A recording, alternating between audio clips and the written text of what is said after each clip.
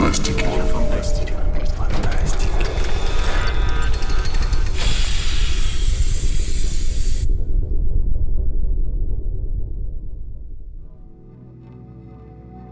Добрый день, дорогие друзья и уважаемые слушатели фантастического подкаста. Сегодня наш выпуск особенный. Сегодня мы одеваем коричневые плащи, сегодня мы летим в далекую звездную систему, сегодня мы берем с собой револьверы, пайки и, конечно же, наш верный корабль.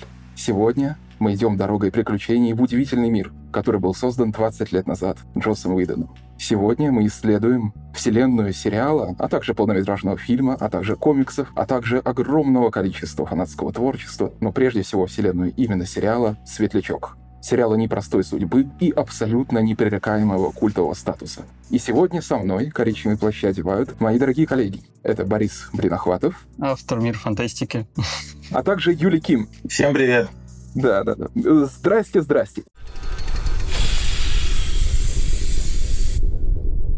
И сразу предупреждение нашим дорогим слушателям. Сериал, который мы очень любим, к нему мы должны дать два предупреждения. Во-первых, уже через пять минут этого подкаста вы поймете, что мы все этот сериал обожаем. Сегодня не будет споров о том, переоценен ли этот сериал как явление. Простите, если вы ожидали зайти за этим, то сегодня вам не сюда. Сегодня не будет споров о том, что, э, может быть, этот сериал плохой, может быть, есть сериалы лучше, возможно, они есть. Но, к сожалению, не для нас троих. Возможно, с наибольшей проблемой будет то, что мы не найдем друг с другом, знаете, точек спора, антагонизма. Но, поверьте, мы постараемся их отыскать. Второе предупреждение, что сегодня мы будем обсуждать спойлера. Уж точно мы будем обсуждать спойлера к сериалу и к фильму. Мы будем наверняка говорить о спойлерах комикса, но об этом предупредим заранее. Поэтому, если вы еще сериал не смотрели, то вы предупреждены. Мы постараемся быть с вами аккуратными. И вот, «Светлячок». Сериал, который он такой один он уникален. Он уникален, с какой стороны на него не посмотри. По каким-то известным рейтингам он считается одновременно одним из самых успешных фантастических сериалов и одной из самых фатальных ошибок телестудии. А именно, ошибка в том, что он был закрыт на первом сезоне. Он имеет непререкаемый культовый статус уже 20 лет, и в течение этих 20 лет он чем-то зацепил каждого из нас, каждый из нас. И как я, и Борис, и Юлий на него наткнулись, и теперь он нас не отпускает. Поэтому, когда эта тема возникла, мы вызвались тут же. И у каждого из нас, я уверен, есть своя история знакомства с ним. Мне прямо интересно спросить вас, интересно начать этот разговор с этого. Какова ваша история? Как вы в первый раз его увидели и за что полюбили? Расскажите. У меня на самом деле получилось, вот когда сейчас уже вспоминаешь, все-таки реально прошло уже, наверное, а, больше 10 лет, пытаешься вспомнить какие-то моменты. Я почему-то, когда, когда вспоминал перед подкастом, был уверен, что типа это был мой первый сериал, который я посмотрел вот именно когда у меня появился интернет. Тоже там прочитал рецензию, рецензию про него на мир фантастики, и там просто вот первый раз вышел в интернет, мне только подключили, кинули этот провод, там еще скорости вот эти были черепашьи, какие-то левые там серверы, там вот это все ты скачал ужасно ужасная пиратская озвучка и все вот это вот. Но к этому я еще вернусь. На самом деле, потом я уже, когда сидел, очень долго вспоминал, я пришел к выводу, что это было не первое мое знакомство с сериалом, а на самом деле я познакомился с ним чуть-чуть раньше. Поскольку у нас получилось так, что сначала вышел фильм, а потом как-то вот началась вот эта информация о сериале появляться, я сначала его посмотрел на каком-то вот этом вот пиратском DVD, где 10 фильмов там, соответственно, было в ужасном качестве, тоже с ужасной озвучкой. Какой-то я случайно купил какую-то фантастическую подборку. Я уже потом там с трудом фактически вспоминаю этот момент, потому что реально, ну вот, я думаю, многие люди потом попадали так же, потому что, ну, потом, наверное, к этому тоже еще вернемся, что фильм, по сути, это как эпизод сериала, только последний, И ты, несмотря на то, что там ребята постарались, ну, там, создатели постарались сделать так, чтобы было понятно, на самом деле тебе ничего практически не понятно в течение всего фильма, и ты вроде как бы смотришь там, ну, прикольно что-то есть такое, но он потом, значит, вытирается из памяти абсолютно, вот буквально там через 5-10 минут, хотя какой-то там эффект остался. Вот поэтому, наверное, я так познакомился с таким диким способом сначала, а потом уже был вот эта вот реальная история любви, когда первый фактически выход в интернет, первый сериал, который ты решаешь посмотреть, наверное, тоже там пометуя о том, что смотрел фильм И несмотря на тоже какое-то ужасное качество вот этого перевода, ужасное качество всего, ты просто влюбляешься, потому что фактически, ну там, с первых двух, там, трех эпизодов, там уже все, он западает в душу, и ты, ну, как бы все, ты, ты попал. И смотришь до конца, потом, соответственно, ревешь то, что он закончился, ревешь то, что там, соответственно, у тебя уже это, фильм тоже ты посмотрел, и больше ничего особо нету, и, и все, вот так вот, как бы у меня было вот так. То есть сначала, говорю, практически первый мой э, сериал, который вот когда только интернет появился. У меня история, на самом деле, кстати, как ни странно, похожа на твою, но немножко с другими, с другими эмоциями. Я тоже сначала посмотрел фильм, но я его посмотрел в кино, и меня на него потащил, соответственно, мой друг, который сериалы видел, но решил мне о нем ничего не говорить. У меня как раз от фильма впечатления были совершенно безумные, потому что я прибалдел от того, что можно сделать классное, масштабное, фантастическое кино без единой звезды.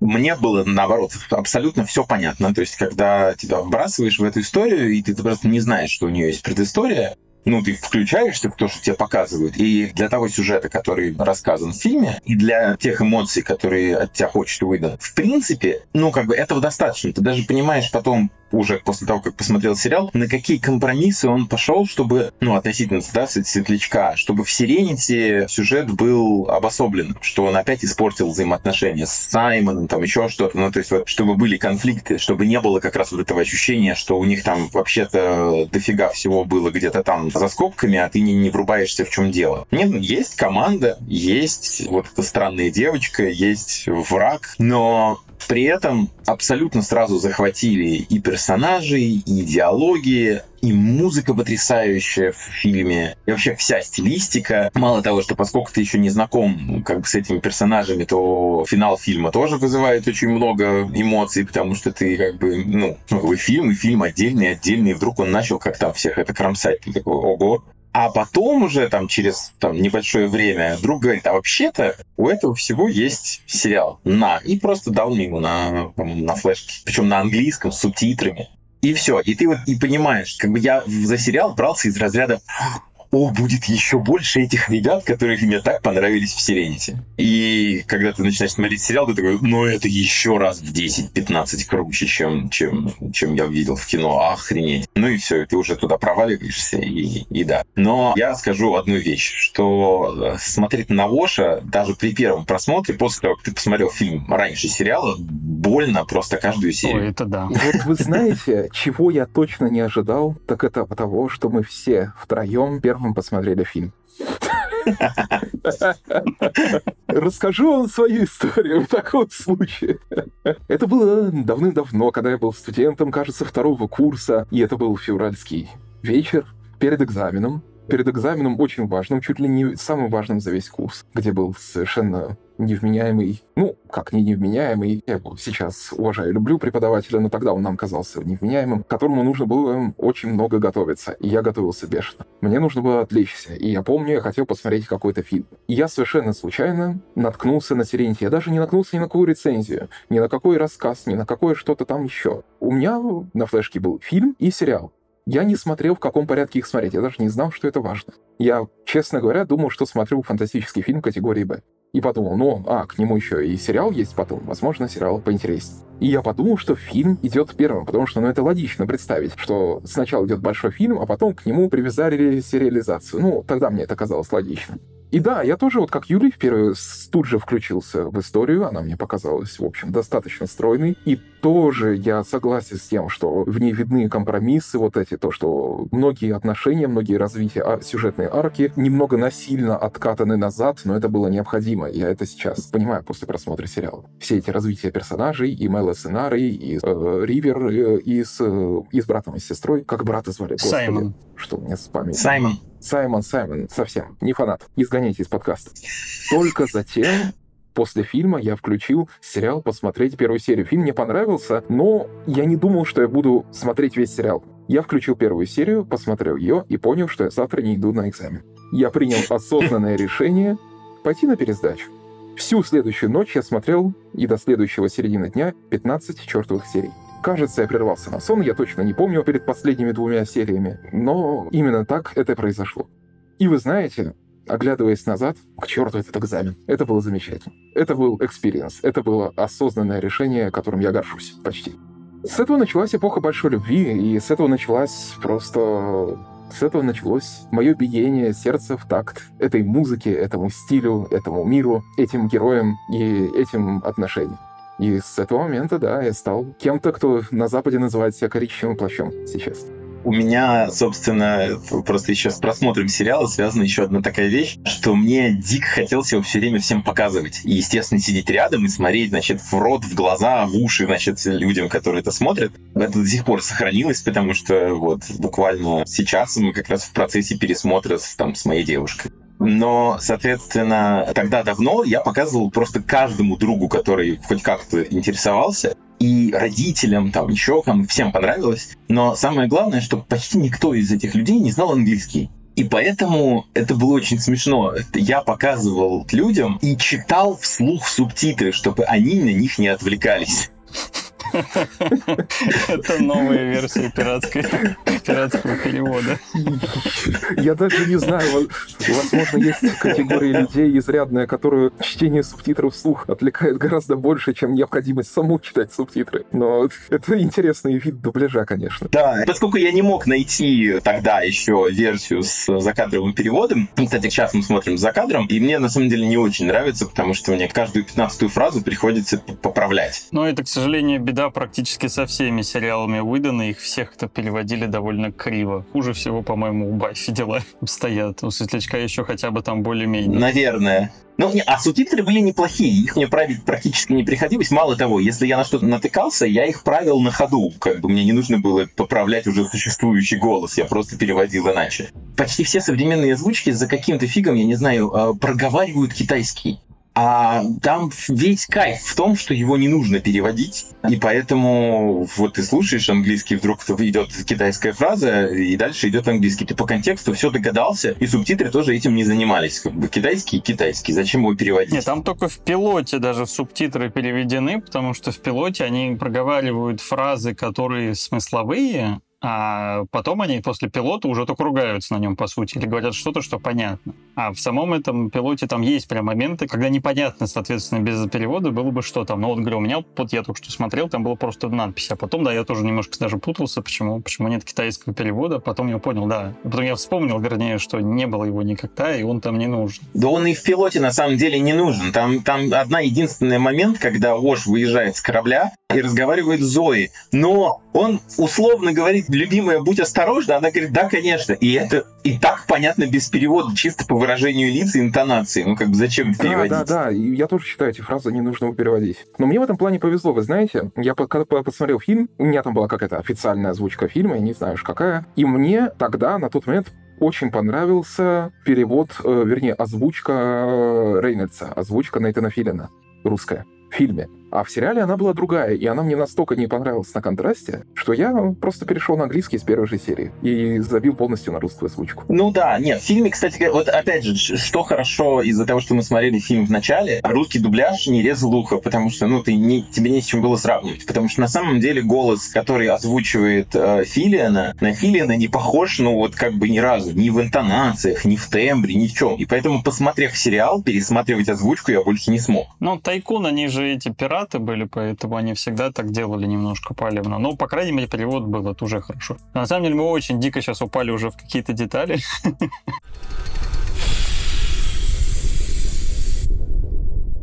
мы возвращаемся к теме, потому что на самом деле я хотел вас спросить, мы сейчас говорим о том, какой это великий сериал, как мы его любим, когда мы его полюбили, в какой момент и что такое, но для тех, кто ничего не знает о Светлячке и включил сейчас подкаст, последние пять минут были... Да, я вот о том же, как бы мы немножко упали в детали. Что за сериал мы обсуждаем? Да, да, да, да, да. Что за сериал? И этому человеку я скажу, чувак, это один из лучших космических сериалов, что, ну, лично я видел, что лично мы втроем видели. Это космический вестерн, это космическая опера. Это сериал про команду корабля, которая занимается мелким воровством, контрабандой и пытается, в общем-то, выжить в этой странной и загадочной галактике. Даже не галактике, а звездной системе, которую колонизировали люди давным-давно, где говорят на английском и китайском, где нет инопланетян, но есть не менее загадочные явления. Например, даже собственная разновидность человеческих зомби удивительно разумных.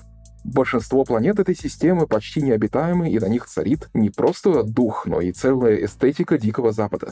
Здесь до сих пор используют револьверы и ружья. Здесь главную ценность имеет не золото, не деньги отпечатанные, а хорошие концентрированные пайки, например, или туалетная бумага. В этом сериале это то, что лично я называю индустриальной космооперой. Представьте себе чужие два Кэмерона, но без Гигера и без чужих. Это не лощеные панели из звездного пути управления кораблем. Это не идеально вычищенные коридоры. Это засаленные скафандры, это старые обшарпанные стены, это двигатели кораблей с торчащими из них деталями, которые собраны почти на коленке. Это вселенная, которая ощущается реальной и которая ощущается очень... Откидной писсуар не забудь. Да, писсуар прекрасен. Вы меня сейчас... Вот вы, вы Следующее, что я вас хотел спросить сейчас. С какого момента вы полюбили сериал? С какого момента вы поняли, что он выстрелил? Потому что у каждого есть свой момент. И за что именно вы полюбили сериал? Наверняка это случилось на первой или второй серии после этого дела. И после того, как вы бы все это рассказали, я бы думал вас поразить тем, что сказал бы. А я вот его полюбил в момент, когда мне показали выдвижной туалет. Но вы, Извини.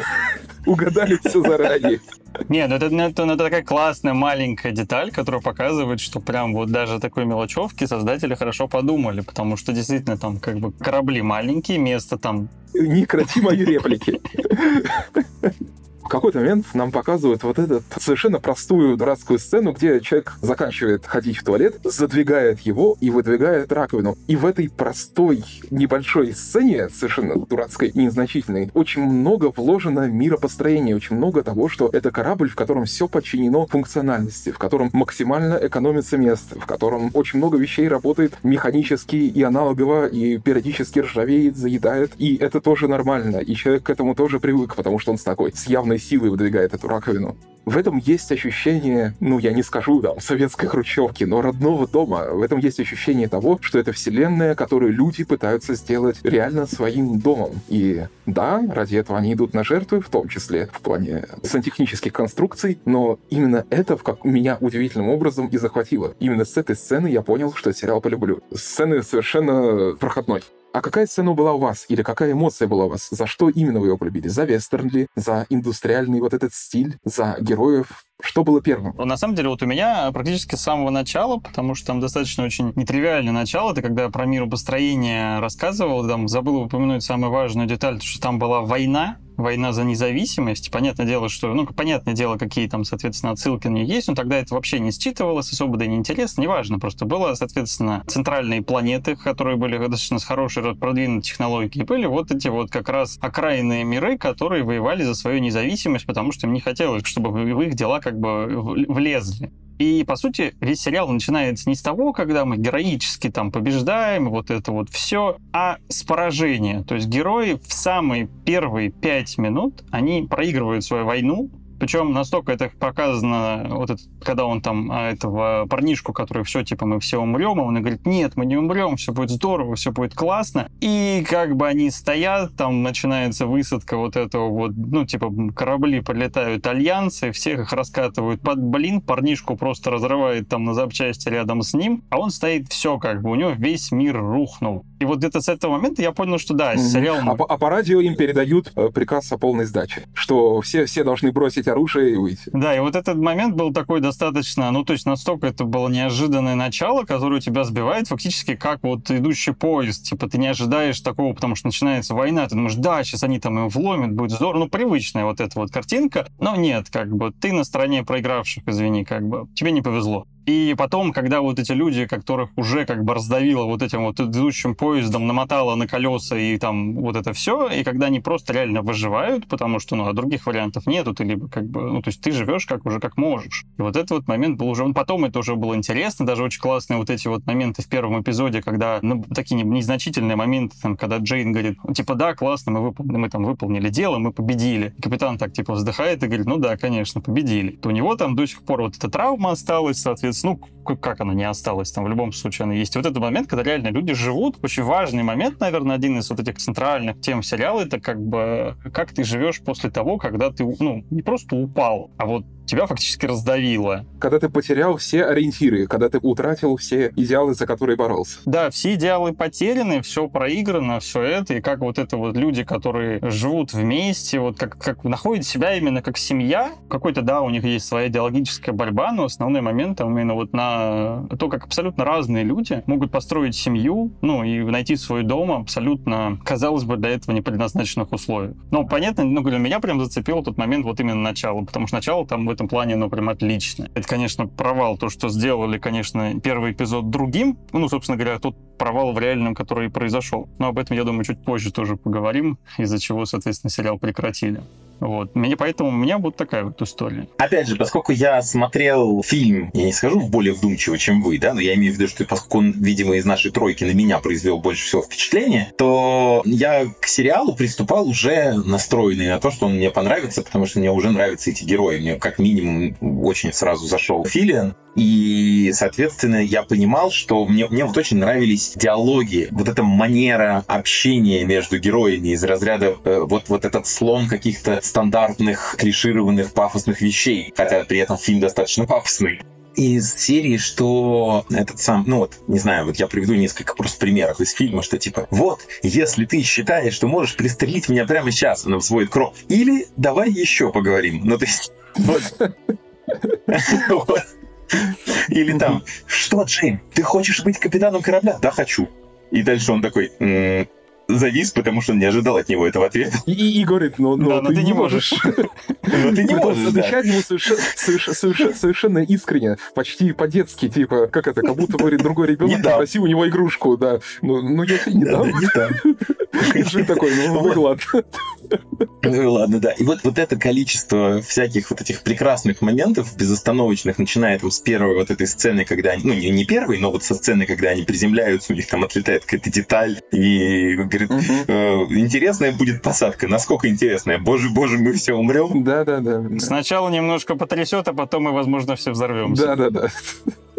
Дамы и господа, говорит капитан корабля, все такое. Да не-не, это когда он говорил капитан корабля, а, а Лош ему прямо так и ответил. Он говорит, насколько интересно, огар, огар, we're all gonna die. Ну, то есть он прям буквально ему так отвечает, но спокойно. Вот, и, и, и нас, настолько меня вот как бы зацепили все вот эти вещи, и я хотел больше, и я начал смотреть сериал, и я стал получать, как бы то, то, что я хотел, я стал получать еще больше. Но могу ответить, ну, отметить, наверное, два момента, которые в первой серии цепанули меня так, что я прям вот все. Да-да-да, давай. Первое, это когда Рейнольдс выгнал э, Джейна из-за стола за пошлую шутку потому что это был абсолютный символ вот этого режиссерского решения, что похабного юмора в этом сериале практически не будет. Что для американского сериала дикая редкость. С одной из главных героинь э, проституткой, в общем. Да. Не, ну, там за всю похабщину как раз и отвечает Джейн, по сути. И причем ее мало при этом все равно. Но она прекрасна, она прекрасна, когда мы не пойдем, мы не пойдем их защищать. Зачем нам это? Нам это не нужно. Типа, что, что они нам могут дать, Джейн? Они проститутки. Да, я с вами прям... Да, при этом важно уточнить для слушателей, которые вдруг по каким-то причинам включили подкаст, не смотря в сериал, что он э, вовсе не нарочито целомудренный, то есть он довольно откровенно и спокойно говорит на эту тему. Он просто... Да, он там спокойно люди относятся к сексу, просто там действительно нет похабных шуток, там нет пошлоты, там все достаточно... Ну как это? То есть это американский сериал, у которого очень британский подход к юмору. Я бы называл это так забегая вперед, это одна из тех черт, которые Уидону в принципе присущи, за которые я его люблю. Но, кстати, потому что он изучал кинематографию в Лондонском университете. Второй момент — это, собственно говоря, вот эта прекрасная сцена в конце первой серии, когда этого самого Рейнольдс подстреливает Добсона когда, когда он просто на ходу, мимоходом ему в глаз залепил, типа, не до тебя сейчас отвали. Да, мы ждем эту я... мексиканскую дуэль, где все держат руки на револьверах, и вот эту вот длинную сцену, в ходе которой они начнут торговаться, а потом Рейнольдс найдет момент, но Рейнольдс к этому моменту так сильно устал. Там пожиратели же на хвосте, времени нету на вот это цацкание. Да, и он буквально одним движением кричит в экран зрителю, у меня был трудный день, я устал, у меня нет времени на это дерьмо. И эта сцена по уровню эмоционального накала и по уровню смеха, э, ну, даже не смеха, а веселья, которое она вызывает, она для меня равна сцене в «Индиане Джонсе», где Индиан Джонс видит вот этого вот машущего мечом араба и говорит, Да-да-да. не, ребята, не, не сегодня пошел. А, стоп, у меня есть револьвер.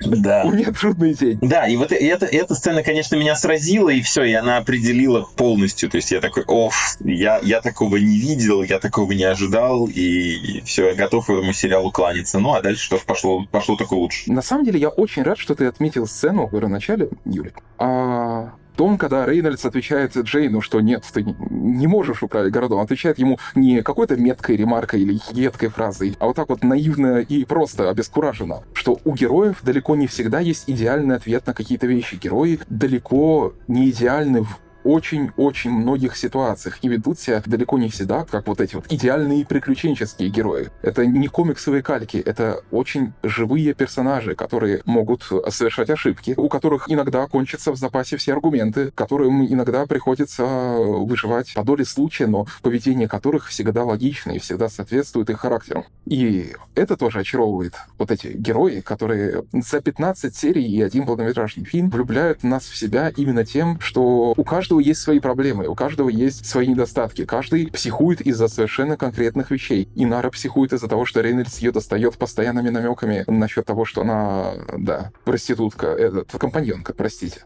Компаньонки, не проститутки. Он говорит ей, конечно, по-другому. Проблема в том, что, наверное, мы не можем использовать эти слова. Да, да, да, да, да. Он проводит эти сравнения. Пош э, начинает нервничать из-за статуса своей жены, из-за того, что она находится выше его по званию, там, и из-за ее отношений с Рейнольдсом. И это в итоге вых- выходит в отдельной серии, раскрывается даже. В замечательной сцене совершенно. Одна из моих любимых серий. Да, и, кстати, хороший момент, когда он это... Капитан, возьмите меня сейчас, возьмите меня нет, жестко. нет, нет, Да-да-да. там, там, там момент был лучше. Там был после того, как после этого он ее такой, типа, иди отсюда и по жопе шлепнул. Вот это было прям вишенка на торте все серии просто. Единственный раз, наверное, когда такое было, но прям это было очень звучно и практически так не видно за кадром, но звук был классный.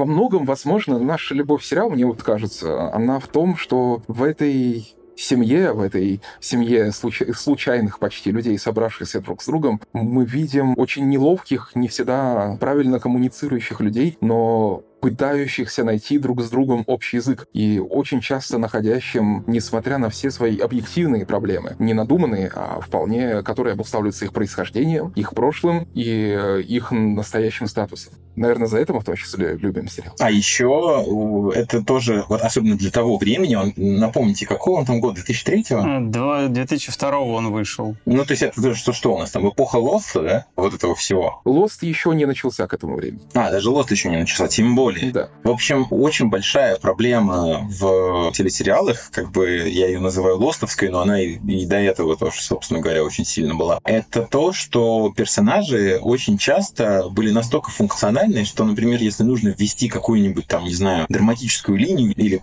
препятствие, в общем-то, все равно на кого ее вешать. А нам нужен персонаж-наркоман. Эники-беники будешь ты. Что персонажи забывают э, события, которые были там несколько серий назад. Ничему не учатся, не развиваются. Они, то есть вот они исполняют ровно ту функцию, которую от них хочет сценарист в данный кусочек времени сериала. И больше ничего. А Светлячок отличался вот для меня на этом фоне тем, что там были цельные персонажи, которые в каждой предложенной ситуации действовали ровно так, как диктует их характер, а не сценарист. Что вот им накидывают приключения, и никто ни разу, ни на миллиметр не сбился со своего характера в плане восприятия окружающего, в Но плане при этом они действий. все развиваются, это очень важно. То есть даже, а, даже Да. несмотря на то, что там прошло, ну, типа, не будем считать фильм, где немножко там изменились характеры чуть-чуть, то в целом все равно как бы характеры персонажей изменяются от, типа, точки первой серии до точки 14 серии. Да, и они всегда учитывают все происходящее до этого. Каждая сцена,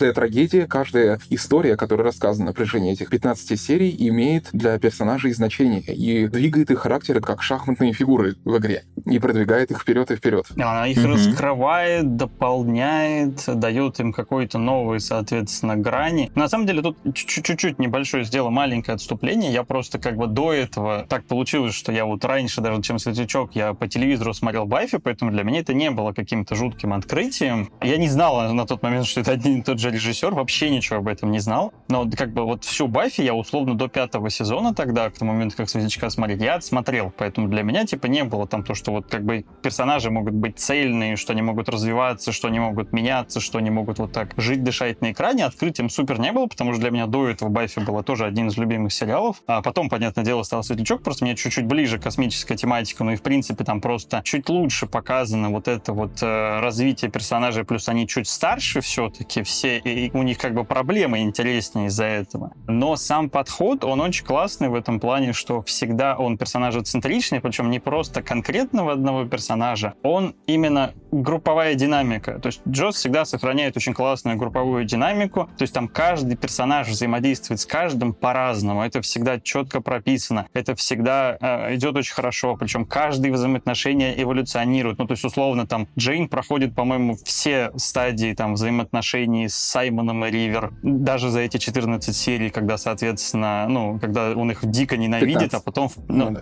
ну, я считаю 14, потому что, типа, первый да, пилот, да, да, он просто прав, целиковый, он согласен. целиковый, да. Да, да, да. Он да, идет да. как одна серия. И как бы из-за этого, ну, вот даже, говорю, у Джейна прям вот есть вообще целиком полностью вот этот. Мы некоторые не успели, понятное дело, показать, но вот некоторые прям полностью прошли там свой цикл от того момента, когда Джейн все хотел, э, чтобы они там отсюда вылетели, потом, соответственно, сам их чуть не продал, и, в принципе, потом доходит до того, что как бы, ну, он, в принципе, достаточно готов там, ну, действительно за них там как бы вступиться. Это очень интересный момент, и, ну, ну групповая динамика у Одина всегда прекрасна, и здесь она просто особенно доведена до какой-то своей вот этой вот такой перфекционизма, потому что она здесь прям с первой серии классная, цепляющая и идеальная. То есть у каждого героя есть какая-то черточка, она взаимодействует с другими и развивается каждую серию. Это прям классно. То есть вот на самом деле эволюция того же, того же Воша, который поначалу кажется каким-то таким, ну вот именно таким типа женой в отношениях с Зоуи, вот. А, соответственно, в эпизоде, который военные истории там или военные байки, которые, ну, типа,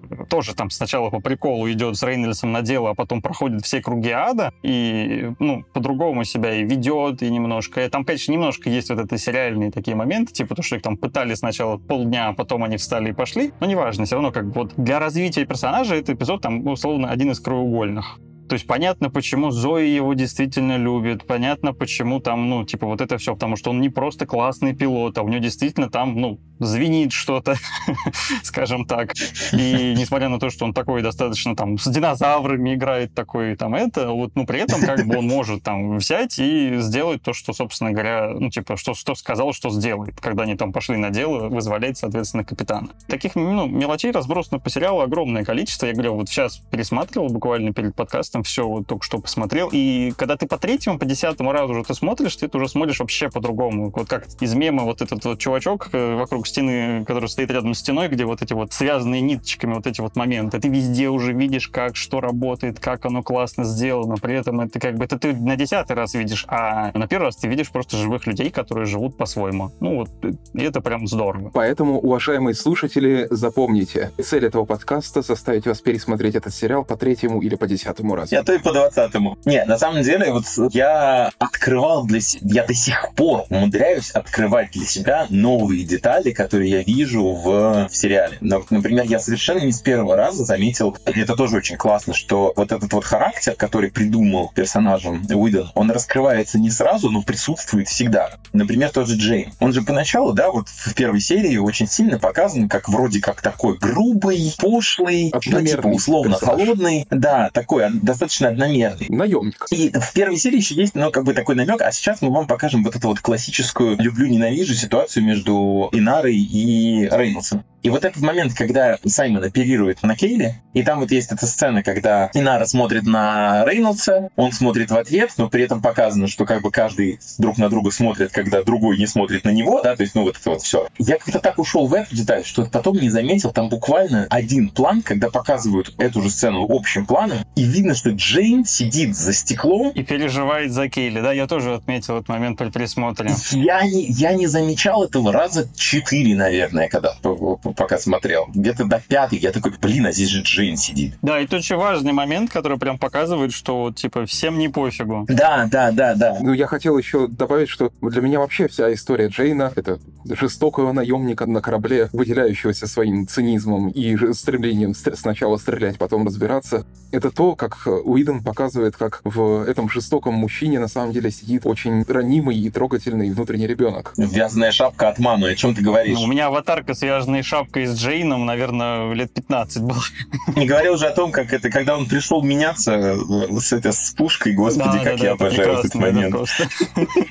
Нет, нет, на самом деле, вот даже сейчас это буквально только что, не помню, в одном из комиксов там было же вот это вот, ну, там же есть интервью с актерами, и, соответственно, Адам Болдуин там рассказывает о том, что типа было очень здорово, что дали, обычно, говорит, с моей внешностью давали все вот персонажи именно таких только крутых мужиков, говорит, а тут дали возможность крутого мужика, но типа с юмором и с комичными моментами, говорит, это, говорит, было типа очень здорово, типа очень освежало и прям, ну, заставляло все вот это там чувствоваться по-другому, а реально на Джейне строится там, ну, огромное количество смешных моментов, причем, типа, он сам не шутит, а просто он является объектом таким вот этим вот. Причем не, не- не клоун, как вот такой вот, а просто у него вот этот внутренний мир такой необычный. Там просто очень много вот этих вот моментов классных. Даже самый последний, типа, объекты в космосе, когда там происходит драка там рядом с этими, с каютами, и типа такой...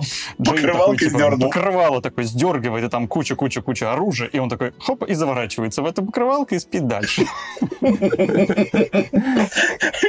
Как я люблю этот момент. Да, он прекрасен, то есть, типа, ты сейчас ждешь, и вот сейчас, и нет сейчас. Я вспомнил, что хотел сказать. Э, тоже момент, который я не замечал э, сразу, а вот заметил вообще буквально, по-моему, там при позапрошлом просмотре. Это, то есть, там, типа, в этом году, условно. В первой серии, когда это самое, когда, э, вот помните эту сцену, когда риверы про- пролетают мимо, и они там все замерли такие и стоят, ну, и ждут, пока они мимо проедут. Лучше говорить пожиратели, чтобы не перепутали люди Да. с Ривер, Пожиратели, пардон. с ее бесконечными Согласен. клонами. Да, Да. пожиратели. Вот. И там есть момент, когда Рейнольдс зовет Зои на мостик. И я как-то всегда тоже пропускал этот момент мимо. А тут я вдруг задумался, а зачем он ее позвал? Она же ничего не делает. Он ей не дал никаких команд. Он ей ни- ничего. И тут до меня, меня вдруг осенило, с учетом того, что герои вначале постоянно спорят из-за того, что Вош говорит, что ты вечно на капитана ориентируешься, я твой муж и все такое. Рейнольдс позвал Зои на мостик, чтобы она была рядом с мужем. И все. Только для этого. Я такой, офигеть. Ну, вот этот вот момент, кстати, я даже сейчас не, не обратил внимания. Там было много других мелочей, но вот это вот... Вот, ну ты представляешь, он, про- он же просто позвал, потому что стрёмно, и она подходит, кладет ему руку на плечо, он ее берет за руку, и все, и вот, и, и- и вот они в тишине, значит, наблюдают за сценой. Это еще такая микродеталь того, насколько там капитан хорошо знает свою команду и, без- и заботится о ней. Не, ну, ну говорю, вот отношение к мелочам и деталям прям в сериале, оно вообще космическое. То есть, на самом деле, даже вот, типа, если мы отступим немножко от персонажей и не поговорим немножко о мире, Мне тоже кажется очень важным, но это же реально первый фантастический сериал, в котором, блин, нет звука в космосе. И это очень важно. И, герои не могут стрелять в космосе. В тот момент, когда они из... И ну, адекватная типа, невесомость еще. и адекватная невесомость. И тот момент, когда они стреляли из пушки вот это вот, в которая должна быть обязательно в скафандре, потому что для этого требуется воздух. И вот эти вот все мелочи, которые, соответственно, там живут в одной вот этой вот вселенной. И действительно, это такое, ну, ну мы, мы уже привыкли к тому, что пиф-паф из Звездных войн, оно есть везде. И то, когда, по сути, фактически все вот эти вот моменты, которые в космосе, вот эта вот съемка сделана, еще там специально даже спецэффекты какие-то делали отдельные, чтобы был вот это вот эффект ручной камеры. Вот там дело даже не в вот этом вот эффекте, а вот еще вот звука нет в космосе. Всегда вот это вот ощущение, что действительно там, когда они ходят в скафандрах, ты ничего не слышишь. То есть в фильме, на самом деле, когда смотрим, когда смотришь потом, там везде музыку напихали, еще чего-то. А здесь было очень много таких моментов, когда очень приглушенная музыка, и ты прям четко ощущаешь, нету звука в космосе. Потом там вот эта вот невесомость, вот эти вот там моменты, которые там были вот именно э, связанные там с какими-то физическими тоже вещами, то есть когда они там корабль там определенным образом делали. Вот это все очень так классно играет на общую картину мира, что, ну, прям вот, говорю, ну, вот она прям заставляет, там, не знаю, почувствовать, что вот, ну, типа, превосходство в этом плане Светлячка над многими другими предшественниками, хотя они в целом как бы не хуже, но просто здесь немножко другой уровень, когда сознательно отказываются от каких-то вещей, которые являются, как, не знаю, каким-то, ну, просто вот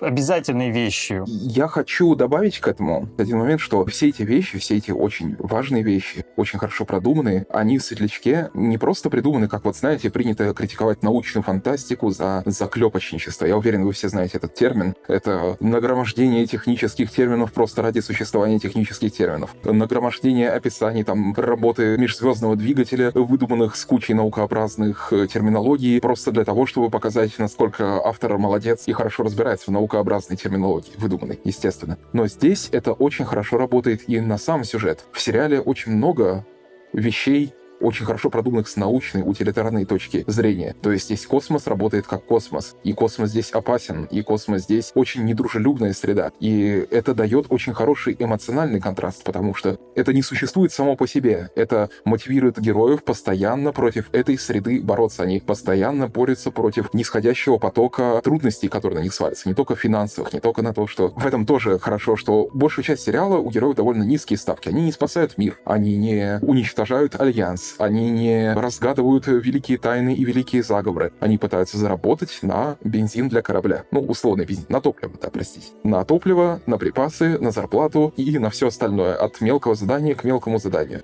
И каждый раз им приходится бороться с кучей всех этих условий. И каждый из этих условий работает как инструмент сплачивания их семьи. И тот факт, что они при всех этих условиях умудряются еще думать друг о друге, подчеркивает важность этого и нас гораздо больше погружает в эту их э, дисфункциональную семью. Уидон, ну, может быть, не лично он, может быть, кто-то еще в этом плане, но мне очень понравилось, ну, просто по поскольку я еще сам по себе работаю в кино и знаю, как это все функционирует, снимается и так далее, я очень четко вижу прекраснейший баланс, где Уидону надо снять э, научную фантастику дешево, и когда он умудряется вот как бы вот эту дешевизну продать в виде деталей, ну, достоверных деталей мира. То есть, грубо говоря, там мы редко залетаем на центральные планеты, потому что, типа, герои отщепенцы и контрабандисты, им тогда невыгодно да, летать. и в розыске вообще находятся. Да, а свалку снимать проще свалку и вот это вот прерии, прерии и вот это вот вестерн. Мне кажется, в принципе, бюджет был, ну, типа, вестерн был тоже одним из определяющих моментов, типа, потому что бюджеты были не очень большие.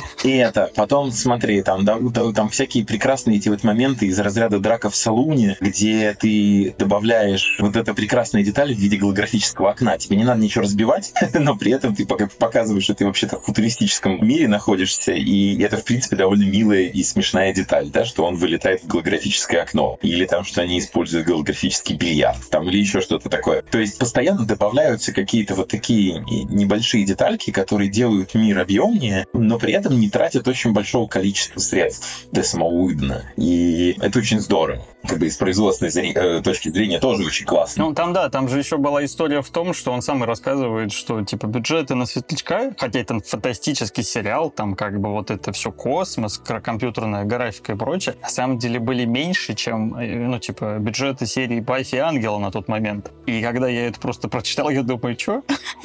Там, несмотря на то, что как раз в эти периоды достаточно были такие большие арки в этих сериалах, но все равно, как бы, ну, не настолько же должна быть разница. Ну, типа, ну, он говорит, типа, что разница была существенная, поэтому в «Светлячке» экономили везде, где могли. Я, например, не мог, вот последний раз, когда смотрел, мне прям глаза резала вот эта вот униформа из «Звездного десанта» на солдатах Альянса. Причем до этого как-то на меня не сильно вот по глазам било, а тут я каждый раз прям смотрел. А мне нравится. И у меня метавселенная в глазах просто образовывалась, что реально Национальная Федерация из Звездного десанта, это Альянс из Светлячка. Я такой прям, блин. Это все мультивселенная, ребята. Да, да, да, это все мультивселенная. К концу этого подкаста наверняка вспомню Starfield, плохим словом, который неожиданно много берет у Светлячка в своих сюжетных ходах. А, а еще, кстати говоря, очень четко видно, что последняя серия, которая про этого, про наемника, судя по всему, вложили туда просто зная, что их закрыли, остатки бюджета. Ну, то есть, что типа вот у нас тут скопилось. И в последней серии четко видно совершенно другой уровень компьютерной графики. То есть они в постпродакшн последней серии, видимо, вложили все оставшиеся бабки. Это, это, это видно на экране. Да, и это отдельная трагедия в том, что сериал закрыт, они узнали во время съемок э, последних серий. Они уже, как это, снимали это как одержимые. Я не уверен, что, кстати, 15-ю серию снимали последней, но, возможно, да, надо уточнить. Ну, я знаю, что последняя серия, которая выходила в эфир, она как бы была вообще, ну, если считать по твоему 15 то она была 13 та, которая про ну, послание. Да, там последние то ли две, то ли три, три серии были уже на DVD деревья, ну, типа, точно на DVD их были, то есть как раз объект, ну, типа, объекты в космосе, она и не, не транслировалась да, в эфир. То есть, то есть в эфир вышла та, где, где похороны в конце, и это было таким прощанием со зрителями. Да, про похороны, и что их эмоции там абсолютно реальны, потому что все актеры знают, что сериал закрывается. И эмоции их там, их игра, при том, что сама серия, мне кажется, не очень удачной. Ну, тут дискуссионно. Да, да, да, да, да, да. Это отдельная история. Но их эмоции в этой серии абсолютно реальны. Они знают, что сериал будет закрыт, и что в этой серии они натурально все скорбят. И это каким-то образом видно по игре. И особенно зная этот момент, очень интересно эту серию смотреть. Давай, может, как раз и перейдем к теме любимых серий.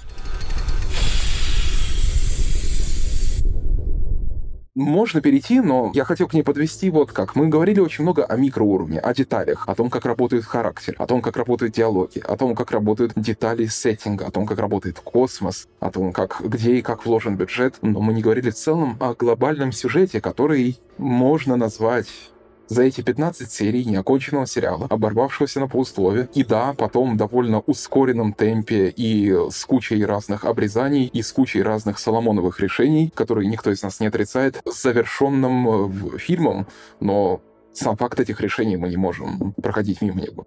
И это одновременно его, для меня, и достоинство, и недостаток. С одной стороны, за 15 серий нам рассказывают о мире, и нам дают, аккуратно развешивают чеховские ружья. Нам аккуратно представляют будущих злодеев, антагонистов, наших героев.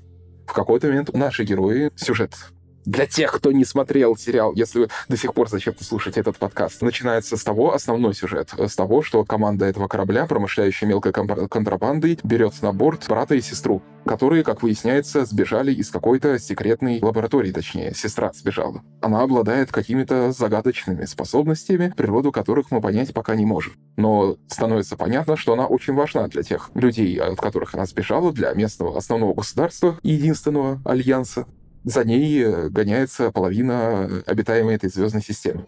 За эти 15 серий нам представляют множество героев. И все эти герои явно нам дают понять, что этот еще вернется, или это еще вернется. Там есть совершенно блистательная аферистка, блистательная роль Кристины Хендрикс. Там есть ужасающий криминальный авторитет Нишка. Там есть инфернальные агенты правительства 2 на 2 на руках синева. Люди в строгих костюмах с синими перчатками, с загадочными механизмами, и которые идут словно, знаете, словно тиран из Resident Evil, неуклонно и непреклонно преследует нашу цель. Так вот в чем проблема, когда сериал обрывается на полусловие, и когда, если вы начинаете смотреть полнометражку, вы поймете, что большинство из этих героев вы никогда не встретите. Это одновременно боль, но это одновременно возможно, и это дискуссия, которую мы обсудим позже, простите, что я долго говорю, просто это для меня лично важно, что Возможно, в этом часть обаяния сериала, возможно, в этом часть его культового статуса, что он нас ловит на такую иглу того, что мы в эти, этих героев ощущаем, и мы у себя в голове представляем, как закончится их сюжетные линии. И тот образ, который мы формируем у нас в голове, он гораздо лучше всего того, что могло быть во втором, в третьем и четвертом воображаемых сезонах Уидона. Не слишком хаотично я высказал мысль, надеюсь, вы следите? Надеюсь, слушатели следят. Интересный вопрос сам по себе. Создал бы Уидон, по вашему мнению, если бы ему дали снимать второй, третий и четвертый сезоны, сюжет лучше, чем он у нас возник в голове относительно этих героев? Здесь можно использовать ваши знания по комиксам, которые выходили после фильма, которые расширяли вселенную и которые заканчивали сюжетные линии многих из этих героев. Как вы думаете? Мне сложно сказать, потому что на самом деле, вот честно, вот сколько лет прошло, сколько раз я его пересматривал, я на самом деле никогда об этом не задумывался, потому что мне настолько нравится в этом сериале процесс, во-первых. Во-вторых, я очень... Я человек, любящий... Я все время путаю вертикальную или горизонтальную. Короче, мне нравится процедурал. Поэтому э, Это формат э, да. одна серия, одна история, да, вертикальный, меня вполне устраивает. У меня нет проблем. Да, это набор новеллок, но как бы, ну, не развили они общий сюжет, да и леший с ним. Вообще не чувствую никакой утраты в этом плане. Для меня это вопрос важный просто потому, что они явно хотели его развить. То есть это было интенция режиссера изначально. Ну, у Уэйдена все сериалы не, не вертикальные, не горизонтальные, я их называю диагональные, потому что там, типа, каждая серия со своим сюжетом, который при этом образует магистральный сюжет. Это практически везде есть. Ну и потом об этом отдельно поговорю, просто такой поинт. Ну, то есть, да, то есть для меня, для меня как бы, да, обида не в том, что я не узнал, чем дело кончится, да, или что там... Мне просто хотелось еще этого состояния, еще этого процесса, условно. То есть просто прожить с этими героями еще больше историй. И я, ну, как бы могу сказать, что если бы он длился, там, не знаю, ну, то есть насчет культового статуса это сложно, я могу сказать только относительно понравилось бы мне. Я уверен, что мне понравилось. Просто элементарно, я не смотрел Баффи, но, допустим, потому как получились такие вещи, как «Кукольный дом» или там, ну, я все-таки считаю, что агенты счета изначально родились благодаря Джосу, потом уже это подхватил Джефф, но тоже это было классно, это выглядело классно, это продержалось держалась классным до конца, то да, он бы сделал круто. В том же, как, господи, «Кукольный дом» — это же тоже сериал, который закрыли раньше времени, но у него есть финальная серия, которая заканчивает сюжет. И там потрясающая история, что он умудрился показать очень интересный, очень полный третий сезон этого самого «Кукольного дома», его не показывая. Просто за счет двух серий и ты просто понимаешь, сколько всего интересного там происходило вот за этот вот перерыв. И ты веришь, что если ты смотрел это в процессе, тоже было бы очень круто. А вот комиксы я не читал, но у меня на самом деле не сильно тянет, потому что я прочитал один, который соединяет историю сериала и фильма. И, если честно, вот те некоторые решения, которые там были, мне не понравились. Потому что мне совершенно, вот мне совершенно не, не понравилось, что они в комиксе вернули вот этого агента Добсона. Потому что это убивает смысл первой серии. Он не должен был выжить. Нафиг он мне там нужен в этом комиксе с одним глазом. И у меня как раз появилось такое ощущение, что если я начну читать комиксы, я как раз могу себе испортить впечатление от сериала и от этих героев, и от этих историй. Ну, не знаю, может быть, потому что комиксы все-таки не дают вот этого актерского вайба, да, который шел от исполнителя, а он очень важен. Комиксы, на самом деле, очень разные, я тебе так скажу. Они очень разные по качеству, вот эти. И есть несколько поколений комиксов, но это мы обсудим чуть позже. Я хочу, Борис, извини, я хочу Юлия сразу тогда вдогонку спросить, если тогда уж тебе ближе его процедуральная часть, если тебе ближе его, как он ближе как сборник теленовелл, тогда, наверное, сразу уместно тебя спросить, какие из них твои любимые, какие из этих историй тебе ближе всего? Ну, пилот — это отдельная история, он как бы вне, вне категории, в нем настолько много всего классного, и он как бы вот первая серия, в которой вводит, его очень сложно сравнивать с чем бы то ни было. А так у меня в целом а, получается, что сериал делится на три зоны. Это разгоночные серии, ну, то есть весь сериал классный, везде есть классные моменты, везде развиваются персонажи, тут с этим никто не спорит. Но вот лично для меня, да, вот разгоночные серии, они при пересмотре немножко теряют уже свой, свой интерес. Там про поезд, про бал, про, там, не знаю, вот, вот эти все мелкие, вплоть до нашей миссис Рейнольдс. Вот от миссис Рейнольдс до военных историй это золото. Это вот каждая серия, которая является одной из моих там самых любимых с квинтэссенцией в виде серии «Без воздуха». Потому что это, я, это вот, не знаю, кто читал Макса Фрая, это моя книга огненных страниц. Это серия, на которой я реву во, просто в три ручья от начала до конца где флешбеки, где показывают, как каждый персонаж попал на корабль, где раскрывается сам Мел, насколько ему вообще дорога его команда, где, ну, где, где нелинейное построение сюжета, где сразу целых три временных линии показаны. И самое, конечно, мощное, это вот эта вот прекрасная сцена, где вначале нам показывают, что он типа, вот эта фраза, что типа, если вы купите этот корабль, он вам прослужит типа долгие годы, с чего начинается серия. А заканчивается серия, что нам уже показывают эту сцену, сцену. И вот этот продавец говорит совершенно про другой корабль, а да, да, Мел да. просто молча смотрит на Сиренити. И вот это вот, а, вот это вот ощущение вот любви с первого взгляда, это просто, это так пробивает, это так мощно. А после военных историй, на мой взгляд, пошли уже какие-то немножечко, опять же, неплохие, просто серии слабее. Пошли какие-то самоповторы. Второе появление Сафран меня не сильно впечатлило вот эта история про мусорку. Но какая-то она для меня немножко проходная. Там история про этот самый дом золота. Она классная, но я посчитал, что там немножко потерялся Уидон, точнее его тонкость, что ли. Потому что вот эта сцена, когда она выходит с ребенком, эта проститутка говорит, скажи привет папочке, бах, скажи пока папочке. Мне показалось это жестковато. Вот, для в рамках этого сериала внезапно. Грубовато как-то. Вдруг не вписалось, покоробило. Ну и вот, вот все в этом духе. Борис. Насчет окончания и что, что бы было, да. Ну, на самом деле, у меня в этом плане позиция очень однозначная. Стандартная проблема всех сериалов, которые, ну, ну не всех, наверное, но большинства. То, что от сезона к сезону качество падает, и интерес пропадает. И, наверное, сериалы Джоса Уидона — это единственное, где все происходит ровно наоборот. То есть, что Баффи, что Ангел, я вот честно не, не, не смотрел «Кукольный домик», там просто субтитров в свое время не нашел. Ну, в общем, не, ну, как бы что Баффи, что Ангел, они растут по качеству. И самые сильные сезоны у них это ближе к концу. У Ангела пятый вообще самый мощный, ну, реально мощный, потому что там будет не до конца как бы присутствовал на первых четырех, а пятый прям он как раз после закрытия светочка туда вложился так, что там просто отрыв башки идет. Тоже закрыли опять-таки на полусловие. Ну, там продолжение в комиксе, их, это отдельная история. С Баффи тоже ситуация такая же, что самые классные сезоны это пятый и седьмой, а шестой чуть вот выбивается, потому что как раз в этот момент э, Уидон занимался как раз э, светлячком. Вот. И для меня не стоит вопрос, на самом деле, было бы лучше. Другой момент, что, может быть, меньше людей бы, наверное, не, не знаю, как сказать, короче, есть такой момент, что, типа, вот эти вот 15 серий и фильм посмотреть достаточно просто. Каждому. Ну, типа, это вот потратить неделю в общем и целом. А чтобы, условно, осилить всю Баффи, надо выкинуть там полгода из жизни. Поэтому, чтобы познакомиться с светлячком как феноменом, 15 серий получается получается более как бы охватная история, чем, ну, если бы у него там было вот их обозначенные там условно там много-много количества там сезонов. Но при этом я точно знаю, что качество было бы не хуже, а даже потенциально лучше, потому что практически везде Уидон очень четко работает с формулой, очень четко работает с персонажами. То, как он их убивает, вводит новых, влюбляет в них, снова убивает, меняет всю формулу, пересобирает все заново это всегда очень классно. И практически везде, ну то есть в Ангеле просто там был пересбор всего сериала раза три.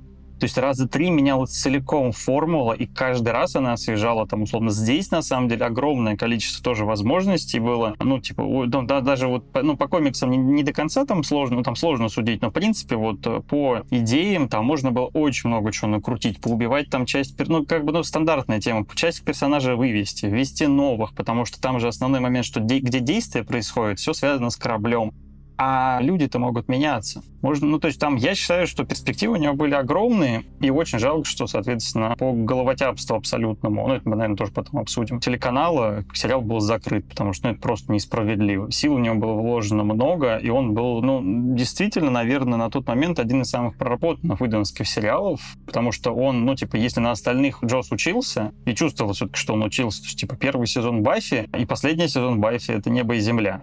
Первый вообще собран был на коленке. А здесь он делал все грамотно с самого начала. Я не верю, что неожиданно там, ну, типа, только если ему пришлось бы, соответственно, периодически передавать в разды правления, как вот получалось с тем, что вот когда три сериала у него, по сути, были в работе, это вот Баффи, Ангел и Светлячок, и он ими жонглировал. Тогда немножко там чувствовалось там моменты с падением качества. Но все равно, типа, общая генеральная линия, я думаю, что была бы просто отличная. Мы бы там на этих пожирателей там, ну, типа, смотрели, как оно все происходило бы не так резко, как в фильме, а более там погруженно. Там это были бы действительно там больше эмоциональные э, качели. Вот про эмоциональные качели тоже сейчас чуть как раз в любые эпизоды, когда буду говорить, проговорю.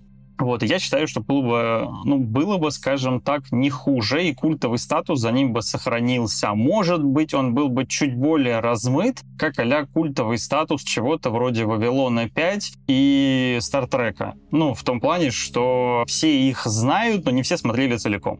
Ну, то есть я точно так же там не смотрел все целиком, несмотря на мою любовь, там, условно, к Вавилону 5, я смотрел первые три сезона всегда, а потом что-то у меня как бы там клинит. Но неважно. Все равно как бы все сериалы эти знаю, там они как бы везде в топах присутствуют, и они считаются лучшими в своей нише я считаю, что типа Светлячком было бы ровно то же самое, если бы он продолжился. Не, не тот автор, которому бы, ну, которого бы неожиданно там посередине пути закончились бы идеи, и он бы занимался жеванием там и переливанием из пустого в порожнее. Да, кайфани, посмотри «Кукольный дом», тебе реально понравится. Это я обязательно. Да, я тоже от себя рекомендую абсолютно. И моя личная рекомендация, моя личная боль, потому что никто не хочет меня слушать, практически очень сложно заставить людей в это включаться. И пусть это даже не, а еще раз не до конца Уидон, ну посмотри агентов, а это тоже сериал, который становится лучше с каждым сезоном. Не, агентов я посмотрю, просто в какой-то момент я что-то сорвался, у меня не было возможности их продолжать, и надо было это, и возвращаться было сложно, но не важно. В топ очень быстрый про агентов. Очень важно досмотреть их до 15 серии первого сезона. Это критически важно. Нет, я досмотрел, досмотрел. Я закончил на середине второго сезона, где-то когда А, Лысого тогда хорошо. поработило. Но я потенциал оценил, просто возможно, времени не было. Ну, знаешь, вот, вот, вот это опять же, знаешь, вот до 15 серии, потому что, ну, как бы вот меня процедуральность не коробит. Он был хорошим, когда это был хороший задел на марвеловские секретные материалы. Я был бы даже не против. Я просто к тому, что очень много раз сталкивался с тем, когда эта рекомендация была в плане этого сериала исключительно полезной для слушателей. Ну, там, да, там есть такой определенный момент. Но на самом деле вот у, вот у Уидона, говорю, вот всегда очень классное то, что мне нравилось. Я тоже люблю вот эти вертикальные сериалы. Я терпеть не могу горизонтальные, когда просто идет фильм, нарезанный на серии, и ты его смотришь бесконечно. То для меня в этом плане, наверное, худший момент это, несмотря на то, что все их любят, это герои. Я просто первый сезон с трудом просмотрел все 20 этих серий, потому что очень тяжело. У Уидона в этом плане формула намного лучше. Каждая серия вытекает из предыдущей. В каждой серии есть свой сюжет, но они при этом все двигают магистральную линию и рассказывают магистральный сюжет. Это классно, потому что тебя никогда не утомляет вот это вот, ну, просто перетекание вот это вот, ну, просто вот реально нарезанность фильма, как будто ты смотришь, и он никак не может закончиться. Но при этом у тебя всегда есть то, что тебя тащит, ну, типа, тащит не просто герои, я там вот посмотрю еще эту серию ситкома, где будут новые приколы, а тебя интересно, что там будет дальше в плане сюжета. Поэтому вот в этом плане мне всегда вот этот баланс идеально очень нравился. Он прям, мне кажется, что это прям вот, ну, золотая формула для сериалов такого плана, который вот именно приключенческого. Понятное дело, что с ситкомом ты такого, наверное, не сделаешь. Притом два основных сюжета, которые два самых глобальных, и которые, я думаю, были заделом для, как минимум, на первые два сезона. Первый — это интрига пожирателей, которые мне очень нравятся. И тут же, опять же, не последняя, я думаю, сегодня в подкасте аналогия с чужими. Они очень грамотно и красиво показаны в сериале. Они показаны, как вот в «Чужом» первом Ридли Скотт показывал «Чужого». Никогда не показывал целиком. Он показывал его полунамеком. «Чужой» где-то был. Ты слышал его звук, ты слышал о нем слух, ты слышал что-то еще. И ты видел его там целиком только в финале, только в самом этом. И тогда ты впадал уже в ужас. Пожиратели тоже, они прокрадываются в сюжет, и они в нем незримо присутствуют где-то на пере. Они появляются буквально там в паре серий. Притом один раз мы видим только их корабль издалека, а второй раз мы видим последствия их нападения. Ну да, и даже этого паренька не показывают. Но это опять-таки вот тот баланс между киношностью и отсутствием денег. Да, именно так. Возможно, в этом, наверное, для меня даже самая большая проблема фильма, где пожиратели показывают слишком близко. А Их там тоже, на самом деле, показывают очень-очень-очень мало. Я вот вчера смотрел, там их практически нету. Вообще практически нету, на самом деле. Да, но все равно тот факт, что они появляются, и они, как это, появляются в кадре и так резко, и так много, и так сразу, наверное, это слишком резкий контраст, но выбора, я, я понимаю, что нет в этом случае. Ну да, там требовался эпик. Без этого вообще фильм бы не полетел никуда. Пожиратели, наверное, еще самая уязвимая деталь миропостроения здесь, потому что очень много можно придираться к контрасту между их безумностью и между их кровожадностью, и между их фантастическим умением водить корабли и содержать их в том порядке, чтобы они могли летать. А это означает, что содержать общество. Ну там, в принципе, можно, конечно, покопаться. Даже я вчера сидел, калькуляции сделал, когда она там рассказывает то, что из, трех, из 30 миллионов у них там одна десятая процента это стало пожирателями. Я такой, «Хм-хм, Сколько их, получается, пожирателей у нас могло быть? Отлично, 30 тысяч. Ну, вроде много, но вроде как-то и не супер много. Да непонятно, как они дальше друг друга самовоспроизводят. Ну почему? Понятно, вон там тебе показали, как они воспроизводят. Но они их не заражают, они не заразные, они сводят с ума. Ну, с одной стороны, да, но вот, короче, вопросов много, но я думаю, там тоже бы все объяснили, просто этого не было. Но может ли сошедший с ума водить корабль? Особенно тот, который разваливается, и тот, у которого все это... Они же все позрываются на... Как это? Ваша нация не жизнеспособна. И это, наверное, главная проблема миропостроения. Эта проблема очень успешно скрывается в сериале, и она только возникает в фильме. Это, наверное, главный вопрос, который можно задать миру вселенной. Ну, нет, там есть, там есть этот момент, но, говорю, просто там, по большому счету, требуется больше обоснования, больше лора, а фильма этого практически не было. Вот, там этом было не, ну, быстро очень пришлось. Какие твои любимые серии, Борис? У меня, собственно говоря, вот еще, собственно говоря, почему я люблю, ну, как такая небольшая прелюдия, почему э, как любимая серия, мне что мне больше всего нравится, это вот это вот классные эмоциональные качели, которые прям выданы, это прям тоже вот эта вот фишка. То, что вот когда ты начинаешь серию и ржешь как конь, а в конце ты плачешь. И вот здесь такого немного, оно особенно хорошо, ну, там, именно между сериями. Но вот некоторые серии прям очень классные в этом плане есть, в которых ты реально либо сначала дико печалишься, а потом в конце очень смешно, либо, соответственно, наоборот. В этом плане мне больше нравится это Джейнстаун, город Джейна, потому что фактически вся серия — это просто хохма, одна сплошная хохма, в которой ты там, ну, не знаю, ржешь просто все время, просто каждый, каждый Герой кадр. Кантона. Да, герой Кантона, вот это вот все. А заканчивается она абсолютно, ну, то есть она заканчивается драмой. Просто откровенной драмой, которая тебя вышивает просто из седла, потому что ты, ну, как это, вестернские отсылки, вышибает тебя из седла, потому что ты к этому был вообще не готов ты был готов, что будет все, что угодно, что будет так же весело. И практически в этом плане, ну, это очень э, показательный тоже момент, то есть как бы с эмоциями зрителей Уидон играет отлично. Поэтому у нас, соответственно, есть прекрасная вот эта вот наша миссис Рейнольдс, которой тоже ты просто хохатываешься всю серию, а конец там, ну, не, не драматический, но как бы, соответственно, он тебя тоже как бы немножко отрезвляет. Ну, вот говорю, мне больше нравится вот этот вот контраст, когда самые классные для меня серии, это которые самые смешные, а потом, соответственно, самые грустные. То есть для меня вот самые смешные это наша миссис Рейнольдс, Джейнстаун, и еще мне нравится очень трэш, мусор, который, вот, ну, типа, Юле не очень нравится, а мне прям дико нравится. Я просто прусь от начала, которое просто это гениально, когда все начинается с того, что Мэл сидит голый посреди пусты и говорит, классно, прям типа все, все получилось так, как я хотел. Вам, наверное, интересно, как я здесь оказался, да?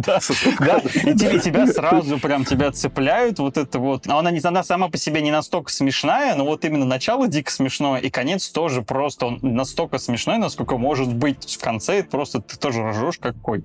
Поэтому для меня, говорю, вот самые любимые это вот эти три самых смешных, по сути, серии. И вот две как раз наоборот самые грустные. Это военные байки. Я считаю, она очень хорошо написана. Да как раз ее, по-моему, Уидон писал. Либо Тим Майнер, как раз продюсер, либо Уидон. Что-то я немножко не забыл. Но неважно, она очень хорошо написана в том плане, что там очень классный, закольцованный сюжет. И вот этот вот момент, когда парня бы спасли. Ну, то есть они бы все, несмотря на то, что он их подставил по полной программе, они бы его все равно спасли спасли, и он сам себя закопал. Это прям очень показательный тоже такой момент, вот именно такого персонажа, который, в отличие от героев, вот он не держится ни за кого. То есть герои выживают не потому, что они тоже такие умные, потому что они такие классные. Берешь каждого из них, выкидываешь одного с голой жопы с корабля, и он погибнет, потому что, ну, потому что нет других вариантов. Ты не сможешь выжить один. Они выживают только потому, что каждый дополняет вот эту вот команду какими-то своими особыми качествами. И вот этот парень, который мог бы, он мог бы, у него там были свои определенные зачатки, но у него нету самого главного, у него нет чувства плеча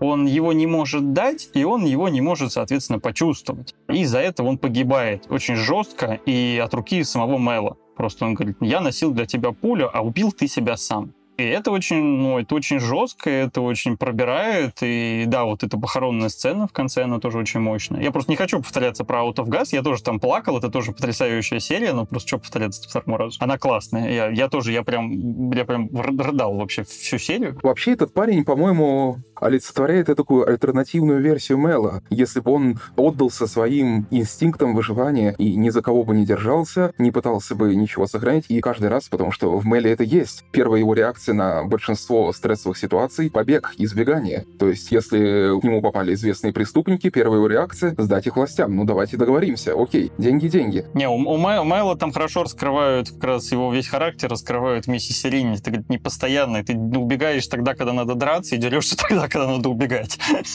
Ну, убегать, да-да-да-да-да-да. Да, он постоянно борется с собой он постоянно борется с собственным цинизмом и с тем, чтобы вот быть вот этим одиноким волком. И борется успешно, но при этом сквозь боль. И постоянно каждой серии делает маленький шажок, чтобы доверяться остальным людям. Он эту семью конструирует сквозь собственное желание побега. И сражается с этим желанием. Избегание и того, что нужно ухватить побольше, скрыться. Такой классический киберпанковый герой, знаете. Вот я сначала вас заинтриговал, я помню до этого, что... долгий-долгий подвод.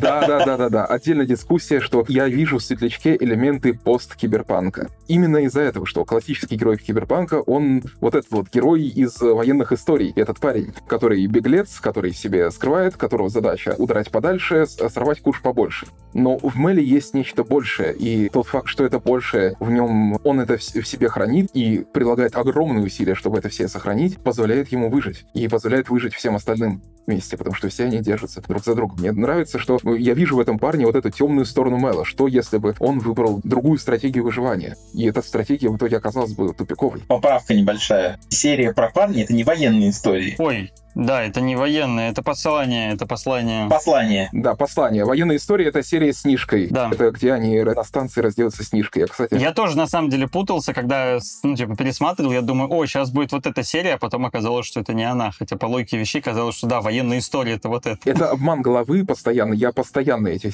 названия путаю, потому что флешбэк с военной историей нам показывают в серии послания. Да. Хотя, на самом деле, военная история тоже, тоже очень хорошая серия, просто она раскрывает именно Оши, но вот она просто чуть хуже тех, которые находятся рядом. То есть, типа, она хуже чуть послание, и хуже как раз вот Out of Gas. Мне еще очень тоже нравится вот, ну, типа, как раз вот элементы из военных байк, еще мне очень нравится элемент из Ариэля. Я кайфую в Ариэле от концовки.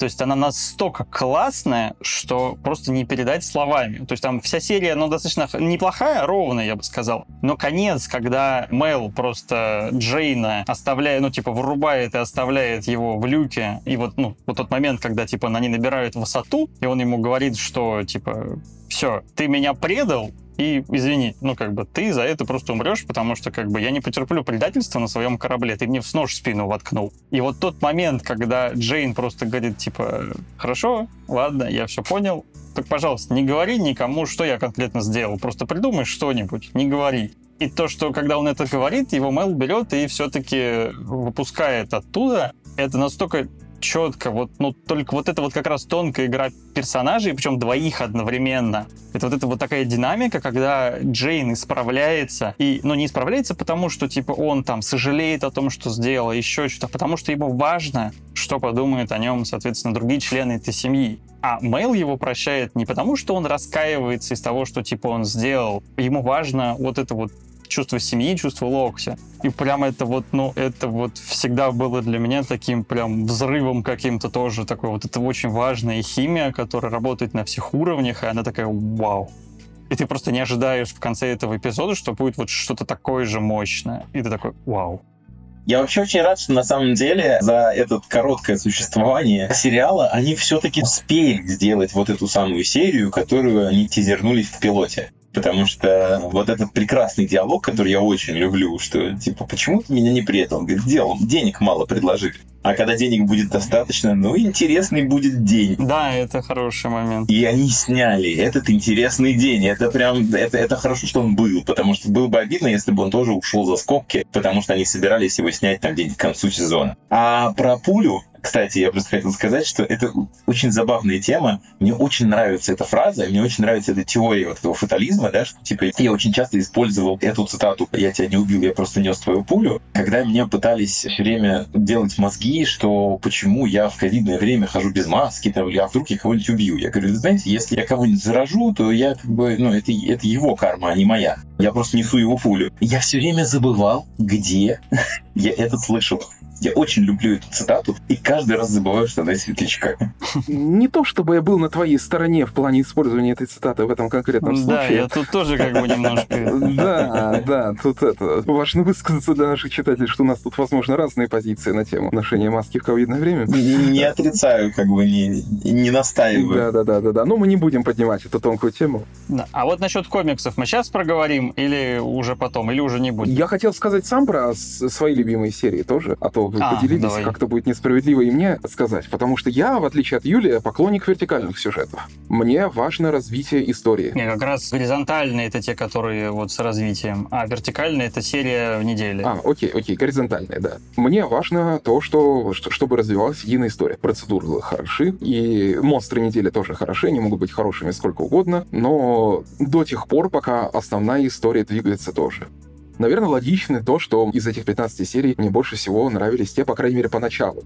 У меня есть одно исключение из этого правила. Те, которые больше всего двигали сюжет. И прежде всего это, наверное, военные истории, которые нам раскрывали Ривер совершенно вот эту девочку, которая странная, у которой, да, есть, очевидно, какие-то знания, какие-то способности, но она не приносит огромной пользы всему. Как правило, от нее в основном проблемы, и проблемы серьезные.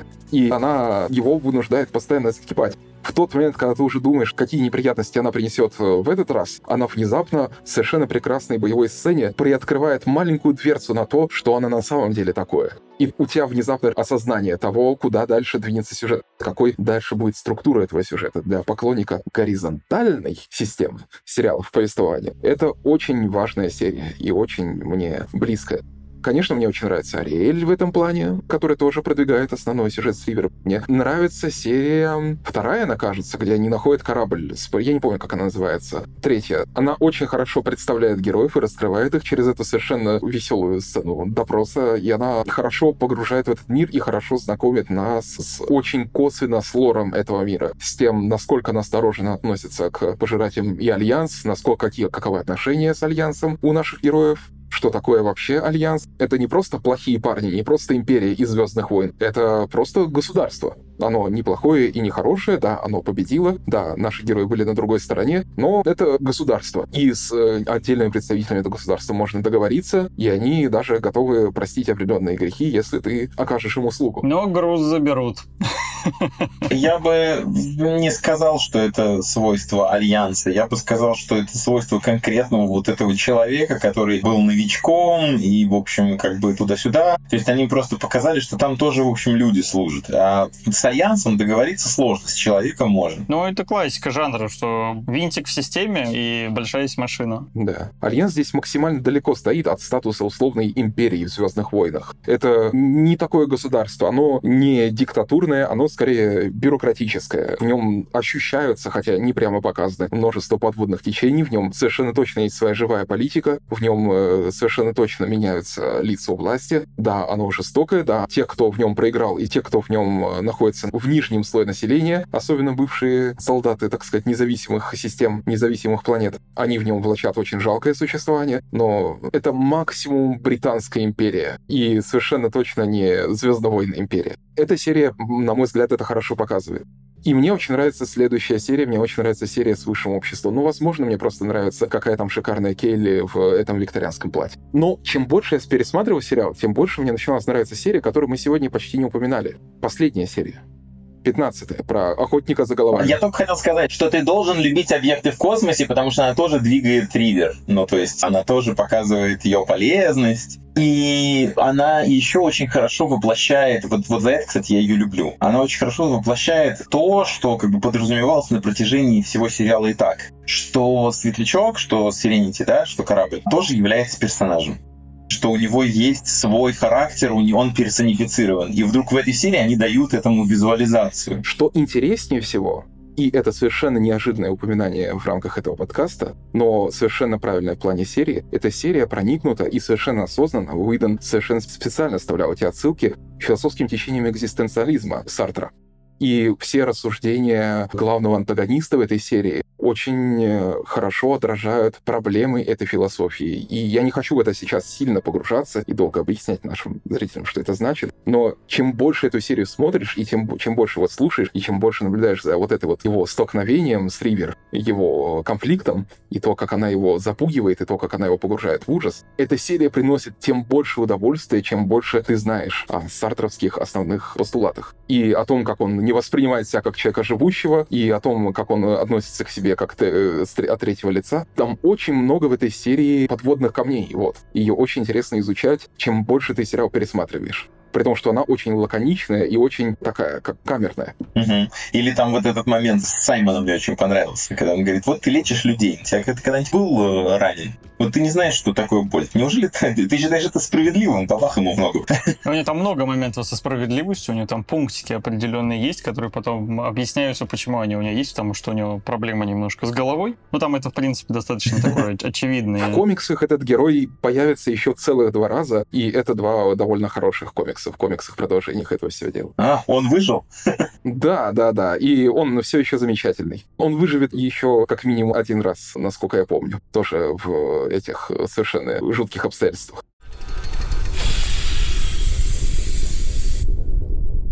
И я хотел, кстати, переходя к комиксам, закончить, вот я о чем вас сначала спрашивал, не только какие ваши любимые серии, а каким вы видели бы сериал, если бы он был 2, 3, 4 сезона. Прочитав все комиксы по этому сериалу, а их выходило порядочно, Их выходило, я их делю на три волны.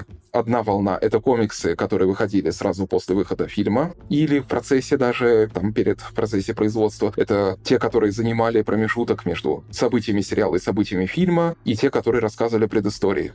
Вторая серия — это серия Dark Horse от 2014-2017 года, которую писал, по-моему, единолично Зак Уидон, младший брат Джосса Уидона. Нет, там первую сюжетная арка — это Зак Уидон, а вторая кто-то еще. Поэтому там их две, получается, два вот эти кусочка. Да, но обе эти сюжетные арки тоже, в общем, более-менее напрямую касаются. Они напрямую продолжают сюжет фильма. Они говорят о том, что случилось после фильма и, на мой взгляд, хорошо закрывает историю до 2017 года. И затем новый светлячок, обновленный, тоже, по-моему, от Dark Horse, но под э, субиздательством. Я не знаю, как это работает, пусть меня поправят уважаемые читатели. Слушай, нет, это там, ну, Бум, Бум отдельное издательство, оно, не, не, по-моему, не может быть. Там просто лицензия перешла и все. Но, опять-таки, не уверен, просто Бум обычно это отдельное издательство, там не, мож, не может быть такого. Да. Я вчера дочитал всю эту серию издательства Бум. Это было очень долгое чтение, и, честно говоря, я не скажу, что это чтение мне принесло большое удовольствие. Поэтому я их не учитываю. Но если брать комиксы до 2017 года, которые, во-первых, занимают все это пространство и отражают все, что должно было происходить в первом и втором сезоне, потому что финал полнометражного фильма, насколько помню, планируется финалом второго сезона.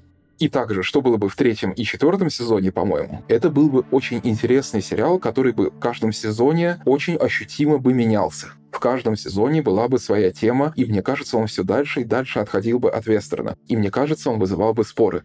И мне кажется, каждому бы человеку нравился бы свой определенный сезон. Кто-то бы, например, вырос бы из вестернового сезона и говорил бы, мне больше нравится, например, там третий сезон, где начинается подробно развиваться линия соучеников нашей Ривер, нашей загадочной девочки, и соучениц ее, ее коллег и начинается что-то вроде этакой такой конспирологической э, истории про суперсолдат где ее пытаются принять обратно в семью, ее пытаются там похитить, и где есть эти девочки с самурайскими мечами, но в которой есть четкая, в общем-то, сюжетная линия, которая довольно логичная. И мне кажется, сезоны бы эти выбирали споры. А это какая именно серия, которая Dark Horse Это вторая? серия Dark Horse с 2014 по 2017 год. Потому что я, я не успел до нее, чуть-чуть мне не хватило. Я прочитал только вот эти основные связки, то есть которые оставлены, которые лучшие дни и пропастили. Поэтому мне просто интересно еще самому. Из первой волны мне больше всего нравится комикс про пастыря. Да. Если вам хочется прочитать хотя бы один комикс по Светлячку, если у вас нет времени и комиксы, в принципе, не ваши, но вам хочется узнать подробности историй, совершенно неожиданно я рекомендую предысторию пастора. Она отлично написана, это отлично хорошо сделанное повествование, очень нестандартно. Оно идет от будущего, от его последних моментов к его прошлому. Пастырь, возможно, персонаж, который вызывал наибольшие вопросы в сериале. Ну, потому что его меньше всего в итоге раскрыли. Нет, там идей забрасывалось по поводу него очень много, а сказать ничего не успели вообще. Поэтому это было самое интересное, они поэтому и закрыли. Большую часть времени он был довольно умилительным таким персонажем и этим моральным ориентиром, но за ним мы постоянно чувствовали вот эту вот тень тень каких-то вещей, то ли жутких, то ли очень плохих, которые он натворил в прошлом, и то, кем он был до того, как стал пастырем. Этому просто не хватало времени, этому просто не хватало момента, и поэтому я более чем уверен, что если бы люди составляли рейтинг, какие у вас любимые персонажи из экипажа Сиренити, пастырь у многих был бы на последнем месте именно из-за этого я почему-то уверен, что если вы прочитаете комикс и прочитаете предысторию, то вы, я имею в виду читателей, то, возможно, многие передвинут пастыря наверх по этой шкале. Ну вот это как раз то, что я хочу сделать как раз. Вот я до, до, не добрался до них. Ну вот нет, это действительно, потому что на самом деле вот у комиксов, которые после у них есть, э, вот сразу говорю, я дочитал только вот эти вот именно связочку, серию, которую Dark Horse выходила, я не успел чуть-чуть, хотя знаю ее существование уже довольно давно. Вот у них есть одна фундаментальная проблема, кроме пастыря, это то, что они и сделали то, что сделано в фильме, еще более тяжело и топорно, потому что прям вот такое ощущение, как будто вот эти вот целый сезон огромный загнали, вот, соответственно, в первый комикс, там, типа, оставленные вот эти вот, я, не, я просто на английском читал, они у меня все на английском есть, это вот это Those Left Behind, на русском тоже выходили, а не помню просто, как это, соответственно, перевели, там просто все по мясу впихнули впихнули все, впихнули Добсона, впихнули синие руки, сразу же за три выпуска всех убили. И это вот кошмар в том плане, что, ну, типа, ребят, ну почему нельзя было сделать хотя бы пять выпусков? Ну, три выпуска для истории — это катастрофа просто, это очень мало. Там... Это как раз связка, да, где они тизерят Да, да, появление да, да. оперативника, Да, да, да, где да, есть да, да, история, да, да, да. почему они жалуются на гранаты. Вот, это единственный, который я читал, где Инара уезжает. Да, да, да, да. То есть они просто сказали, типа, вот у нас есть А, мы скажем, есть, есть вопрос А, мы ответим на него, есть вопрос Б, мы ответим на него, есть вопрос С, мы ответим на него, есть вопрос Д, мы ответим на него. И это все очень плохо живет в плане как вот сюжет. Тем более еще не самый удачный сценарист был, потому что как раз вот этот Брэд Мэтьюс, это же как раз э, автор вот этого «Сердца из золота». Эпизод неплохой, но, как ты говоришь, действительно немножко топорный, там это есть. А здесь еще более топорно. Прям вот у них не было никакого, соответственно, вот этого вот момента, когда твои идеи как-то обрабатывают туда-сюда. Прям все, что было, запихнули, все сюжетные наработки как-то причесали и впихнули. Лучшие дни в этом плане, простите за тавтологию, лучше, потому что они не, не отвечают на какие-то вопросы. Это просто какая-то история, рассказанная о команде. Она неплохая, не самая лучшая, тоже не хватает там некоторых моментов, или, ну, элементов, но она интереснее. И из всей вот этой вот еще на самом деле сборничка небольшого, там еще есть парочка историй, которые в конце. Самое интересное, на самом деле, трибьют Уошу, Паттон Освальд, такой э, плюшевый дядечка, который тоже периодически пишет комиксы и играет в разных сериалах, типа «Агенты щита». Короче, вот она не неплохая, неплохая такой сюжетик. Это известный просто как- комик так-то, Паттон Освальд. да, да, да, да, да. Ну, еще помимо этого, да. Вот. И он достаточно не- неплохая короткая история, которая важна тем, что она закрывает тот вопрос, который на самом деле в конце есть, когда там в конце появляется беременная Зои. И вот это, конечно, классно. То есть все-таки, что даже несмотря на то, что Вош ушел, они ему как-то все-таки сгладили этот момент и сделали его чуть более приятным. Ну и сама история неплохая. Там просто там три друга, которые вообще никак не связаны с повествованием, просто рассказывают о Воше, какой он был классный, вот это вот все. Это приятно. Но при этом, да, история Пастеля, которую как раз вот Зак Уидон уже писал, она абсолютно по-другому чувствуется. Она чувствуется как именно цельное произведение, хотя он тоже пишет там в предисловиях или там послесловии, что писал ее на коленке между другими проектами, но она выглядит как самостоятельное, законченное произведение, не которое вот это вот там слепили из того, что были, а потом что были, то и полюбили. То есть она действительно хорошая, качественная с точки зрения подать. И при этом, понятное дело, что тоже не было, то есть в сериале, наверное, это бы арку раскрытия Пастыря нам показывали бы пару, ну, типа сезон, наверное, где-то точно понемножку ее давая там или как там приоткрывая. Здесь, понятное дело, просто все вот это вот запихнули одну, в одну как бы серию, но очень грамотно с точки зрения структуры. Поэтому история Пастыря, несмотря на то, что она реально там 57 страниц, ну, то есть это вообще смешно, она реально умудряется раскрыть целиком персонажа просто вот именно фрагментарно. Это очень классно сделано. Поэтому тут очень большое уважение как бы авторам, тут э, вообще вопросов нет. Господа, я, наверное, тогда расскажу быстренько про Dark Horse, что там происходит э, в этом. Или, Юлий, ты хотел что-то сказать? Я нет, поскольку я читал только связку, и, ну, я, скажем так, я к ней относился как к связке, и, соответственно, поэтому у меня нет к ней таких больших претензий. То есть я хотел объяснялки, я получил объяснялки в общем и целом. Я как бы какой-то такой великой драматургии от нее не ждал, и меня только пробесило, что они зачем-то воскресили Добсона, и все. Не, ну если бы они в сериале его воскрешали, наверное, бы смотрелось бы лучше. Здесь просто они реально его вернули, чтобы опять убить за, ну, типа это... На этом несчастном Добсоне, на этом довольно проходном персонаже, мне, мне показалось забавное его воскрешение, но мне показалось хороший. Мне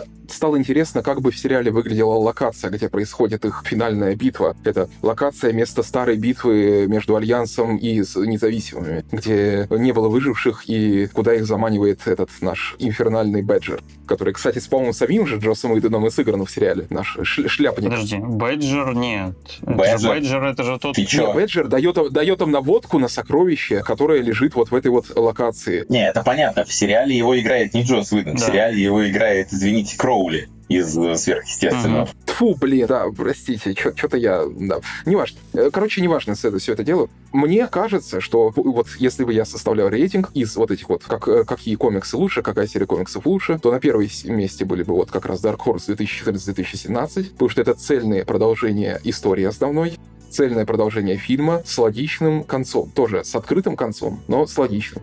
На втором месте это были бы разрозненные вот эти вот ранние комиксы, которые очень разные по качеству, но которые интересно читать и которые дают очень часто ценную информацию и закрывают основные сюжетные линии. В конце концов, это то, что нам нужно от сериала. Они интересны не сами по себе, но в контексте сериала они дают нам то, что мы хотим. То есть они дают нам какое-никакое на закрытие. Потом у меня будет куча пустых мест. Третий, четвертый, пятый, шестой, восьмой, десятый. После них еще троеточие, и где-то на тысячном будет у меня цикл комиксов от Бума. Ну, там, конечно, это очевидно было, потому что Dark Horse начинал как раз Зак Уидон, а вот эти вот бумовские писал Грег Пак. Это просто человек, по-моему, который паденщик везде. Звездные войны, я напишу Звездные войны. Светлячок, я напишу Светлячок. Все что угодно, я напишу все что угодно. Сначала про Dark Horse. Про то, и это, внимание, спойлеры, последствия того, что происходит после полнометражного Ох, я фильма. вытащу Мы об этом тут много не говорили и были деликатными, но я предупреждаю слушателей, что тут уже не будет вариантов. Три, два, один.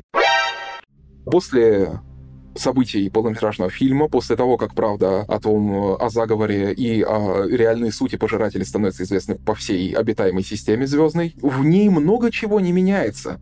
Потому что правительство реагирует так, как реагирует наше современное правительство. Оно говорит, что все это фальсификации, фейк-ньюс, что нас, невинных, это обкладывают, что кто это вообще запостил, какие-то психопаты, пропагандисты делают свою пропагандистскую работу и говорят, что правда это ложь, ложь это правда, ребята, мы не виноваты на самом деле. И кто придумал эту фантастическую историю, мы не знаем. Но огоньки зажигаются. И заж- зажигаются огоньки э, недобитых революционеров. И эти революционеры пытаются вовлечь, в том числе, потому что утекает информация, что наш капитан Мэл Рейнольдс это сделал, они его пытаются вовлечь в свои дела, вовлечь в свое революционное движение. И одновременно с этим начинает продвигаться история с Ривер и с ее прошлым, и с тем, что, ну, ее продолжают преследовать. Ее начинают преследовать уже ее воспитанники ее же этого учреждения которые прошли, в отличие от нее, прошли обучение до конца. И поэтому они умеют то же, что она, но лучше и сильнее и мощнее. Это две серии комиксов, законченные в 2017 году, и мне нравится, что они заканчивают арку Мэла Рейнольдса и того, что все это время он пытался бежать и пытался от Альянса как-то скрываться и пытался получить свою выгоду и планировал так провести свою жизнь. Но, наверное, главная мысль этих двух серий в том, что бежать до конца невозможно. И он сталкивается с этими революционерами, он их презирает. Одни из них, одна из этих фракций, оказывается наивными детьми, которые оказываются частью чужого совершенно хитрого плана и марионетками. Другие оказываются террористами без э, принципов, в принципе, без принципов каких-либо. И это его пугает еще больше, потому что эти люди готовы считаться с любыми жертвами, лишь бы насолить Альянсу. Мирными, не мирными, им, в общем, плевать. Но, несмотря на эти жуткие и неприятные примеры, он в конце концов приходит, в общем, к важному выводу. Бежать бесконечно невозможно. И рано или поздно придется сражаться, и лучше сражаться на своих условиях. И лучше сражаться незагнанным. Несмотря на то, что вокруг него примеры тех, кто выбрал не очень правильные поля сражения для себя. И это хорошо закрывает его арку и финальная речь. В общем, его мне очень нравится. И если вы хотите, если вы думаете, что фильм не завершил для вас историю достаточно, то, мне кажется, эта серия комиксов, эти две серии, завершают ее качественно. А вот после 2017 года начинается серия Бум. И знаете, я тоже, вот вы говорили сейчас про этого Пака, который и швец, и шнецкий, на дуде и грец, и ЗВ, и все остальное, и Звездные войны, все остальное. Я начал что-то подозревать после предисловия к первому выпуску, где человек, автор комикса, пишет замечательную вещь. И простите меня за то, что сейчас принято называть кейткипингом. Он пишет, вы знаете, я никогда не был особенно фанатом Светлячка и смотрел только полнометражку. Но мне позвонил продюсер комиксов и сказал, посмотри, пожалуйста, сериал, мне кажется, тебе понравится. Я посмотрел, мне очень понравилось, и я тут же начал писать комикс. И это, конечно, ребята, начало конца. Сценаристы Бума, очевидно, не знают, что делать с героями. У меня такое ощущение. Они пускаются в совершенно ненужные, несмотря на благословение Джоса Уидона, флешбеки. Они пытаются ставить их в ситуации, которые, в общем, героям особенно не нужны. В какой-то момент им приходит идея послать героев через портал на Землю, на покинутую землю, из которой все прилетели, и впутать там их в местную историю и пытаться сделать около светлячковый сюжет. В каждом сюжете сквозит жуткая фальшь. Я вам признаюсь, я дочитывал эту историю через силу. Дальнейшие истории рассказывают о будущем Светлячка, там уже выросших детях и обо всем этом, и от этого всего у меня веет, знаете, фанфиками по Звездным войнам. Фанфиками, которые сейчас называют серьезными сериалами. В этом всем мне видится ничего более, чем творческая потенция. И я, честно говоря, от себя лично рекомендую тем, кто не хочет себе портить настроение, не знакомиться с комиксами Бума. Вот, закончить на комиксах серии Dark Horse 2017 года. Простите за долгий рассказ, мне показалось, слушателям это важно услышать. Раз уж я единственный, кто это осилил. Я больше скажу, я даже не знал, что они были. Хотя тоже удивительно. Это примерно как я могу так, так столь- столько же рассказывать про сериалы Седава, которые никто не может осилить никогда до конца. Ну да, я, я жалею о том, что я их осилил. Возможно, мне стоило бы признаться, что вы извините, я не стал читать. Но перфекционизм наш, наше проклятие. Проклятие нашей профессии. Возможно, иногда и благословление.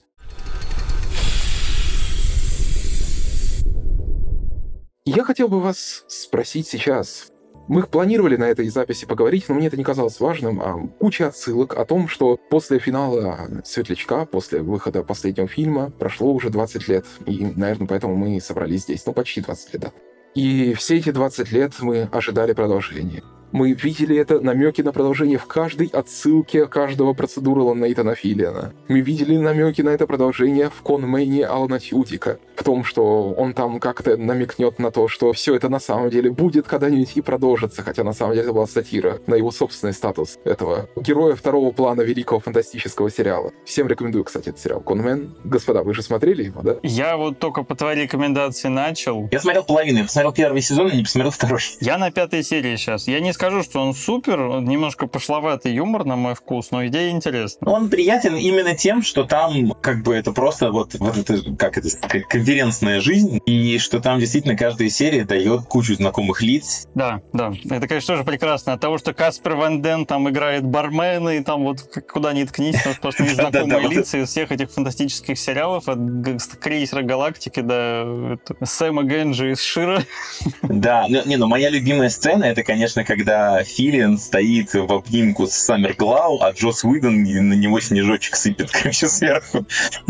Короче, э, чтобы сказать нашим слушателям, которые не слышали об этом сериале, это сериал «Конмен», где главный герой Алан Тьюдик, исполнитель роли Воша в «Светлячке», и где он играет самого себя отставного, ну, условную версию самого себя, актера второго плана, который стал дико знаменит в этом научно-фантастическом сериале, который во многом похож на типа Светлячок, и который теперь зарабатывает тем, что путешествует по э, всяким комик-конам и подписывает за деньги, э, дает автографы. И влачит существование актера озвучки на вторых ролях на каких-то дурацких мультфильмах, где изображает три степени крика орка. Это очень ироничное замечание по поводу культового статуса Светлячка и что этот культовый статус значит для всех его актеров, не только для исполнителя главной роли, где там, Натан Филлиан играет совершенно замечательную роль этого зазвездившегося чувака, который, конечно, очень любит своих коллег, но больше всего он любит свой дом с бассейном и шампанское, и свои роли, которые на него сыпятся. И это хороший диалог на тему того, что значат фанаты для актеров.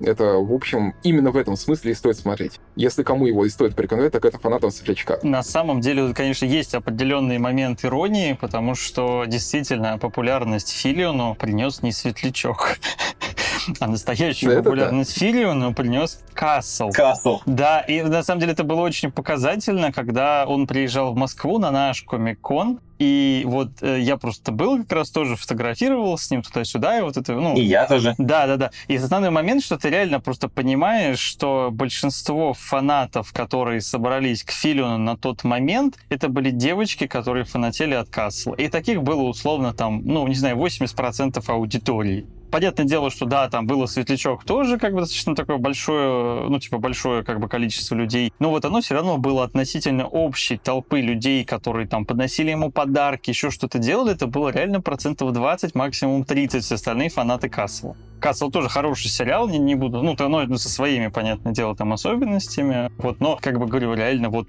вот основная его популярность это Касл, ну, 8 сезонов Касла. Мы прям не будем про отсылки, потому что их на самом деле они, они прикольные, я бы их Да, да, да, да, да. Отсылки эти ничего не значили на самом деле. Они просто каждый раз, они подтверждали то, что после каждой отсылки начинался вал этих слухов о том, что наконец-то его продолжат, наконец-то выпустят. В этом феномен Светлячка. 20 лет мы все ждем. И мы ждем, когда наконец-таки объявят новый сезон. Но поэтому у меня к вам вопрос, очень важный. А стоит ли ждать? Вот это для меня очень, кажется, такой системообразующий вопрос. Возможно ли вообще сейчас вернуть сериал? Слушай, ну сейчас уже понятное дело, что не стоит.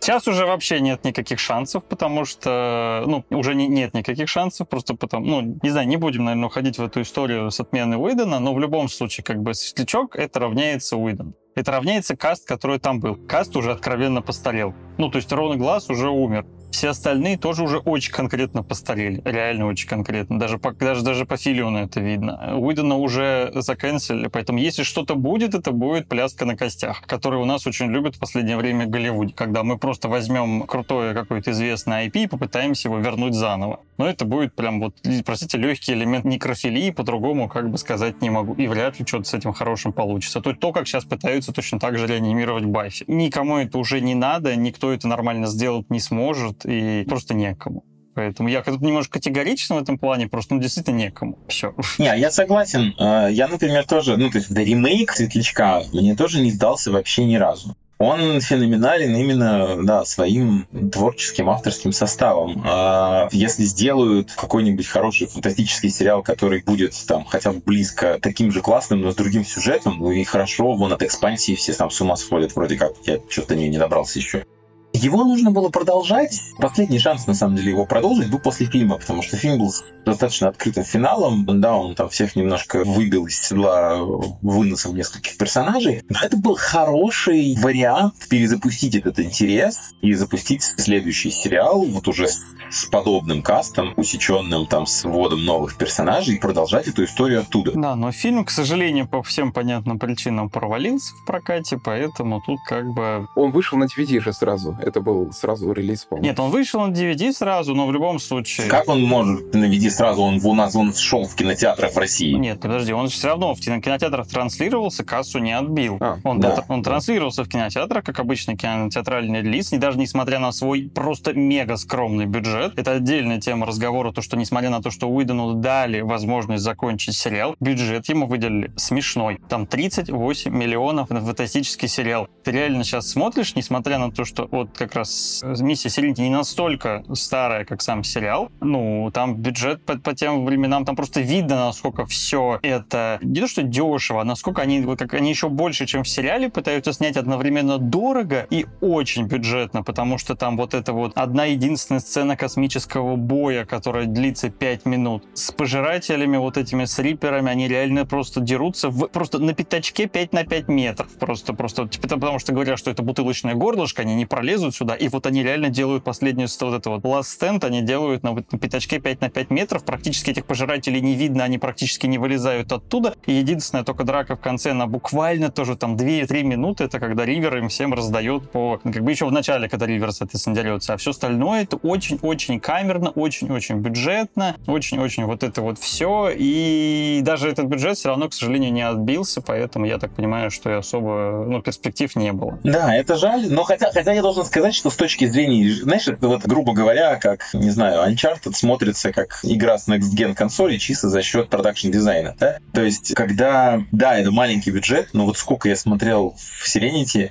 он все равно смотрится масштабно, он смотрится красиво, он, ну, он смотрится шикарно абсолютно. Не, он смотрится хорошо. Я не я говорю, что реальный бюджет был копеечный, и там, если ты как бы это знаешь, в принципе, это довольно ощутимо. Просто это подчеркивает, на мой взгляд, все-таки талант команды, которая это все делала, которая сумела им распорядиться так, что оно не стыдно. Да, тут мы, наверное, про фильм можем долго говорить в этом плане. Сколько там было углов срезано, но мне кажется, Да, воспринимается он очень цельно. И мне нравится очень сцена космической битвы. Она до сих пор смотрится живо. И сцена перед этим, сцена, когда они проходят. При этом очень хитро то, что сцена этой битвы, это я уже потом просто понимал, в чем ее прикол. Она сделана в атмосфере, и там есть звук. Поэтому можно взрывать.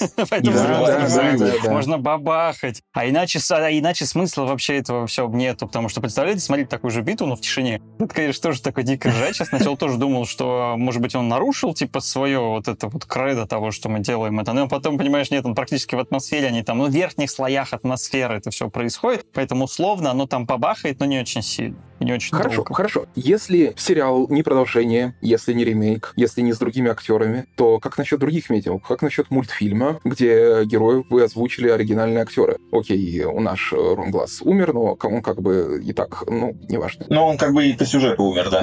Да, да, да. он и по сюжету умер, поэтому тут не критично. Но нет, опять-таки, тут же, понимаешь, еще сценарий. да. Я не хотел этого говорить вслух, но да, да. Э, Или там, допустим, игра по светлячку от Telltale Series, например, как сейчас игра вышла по экспансии. Экспансию, кстати, искренне рекомендую. Экспансия, да. Это не светлячок, это другой зверь совершенно, но в плане научности очень во многих планах это такое, как это наследник некоторых вещей, которые светлячок делал правильно. Вот. Это совершенно другой зверь, правда. Я бы хотел только единственное, что для меня, вот, ну, лично моим, как бы, из того, что я бы хотел, я бы хотел поиграть на столку по светлячку. Вот, она, конечно, говорят немножко с такими странными механиками в том плане, что она играет с песочницей, играется 6 часов, это довольно тяжеловато. Но вот я бы поиграл. Все остальное я не уверен. Ну, типа там отдельные какие-то проявили мультсериалы и прочее. Ну, уже как бы все-таки я сторонник того, что умерла так умерла. Умерла хорошо, красиво, эффектно. Мы будем ее любить и помнить принципе, не надо заниматься вот этим вот всем. А единственное, что что-то можно, это вот, да, вот типа настолка по светлячку, которая находится в той же вселенной, и ты просто играешь, типа, за контрабандиста,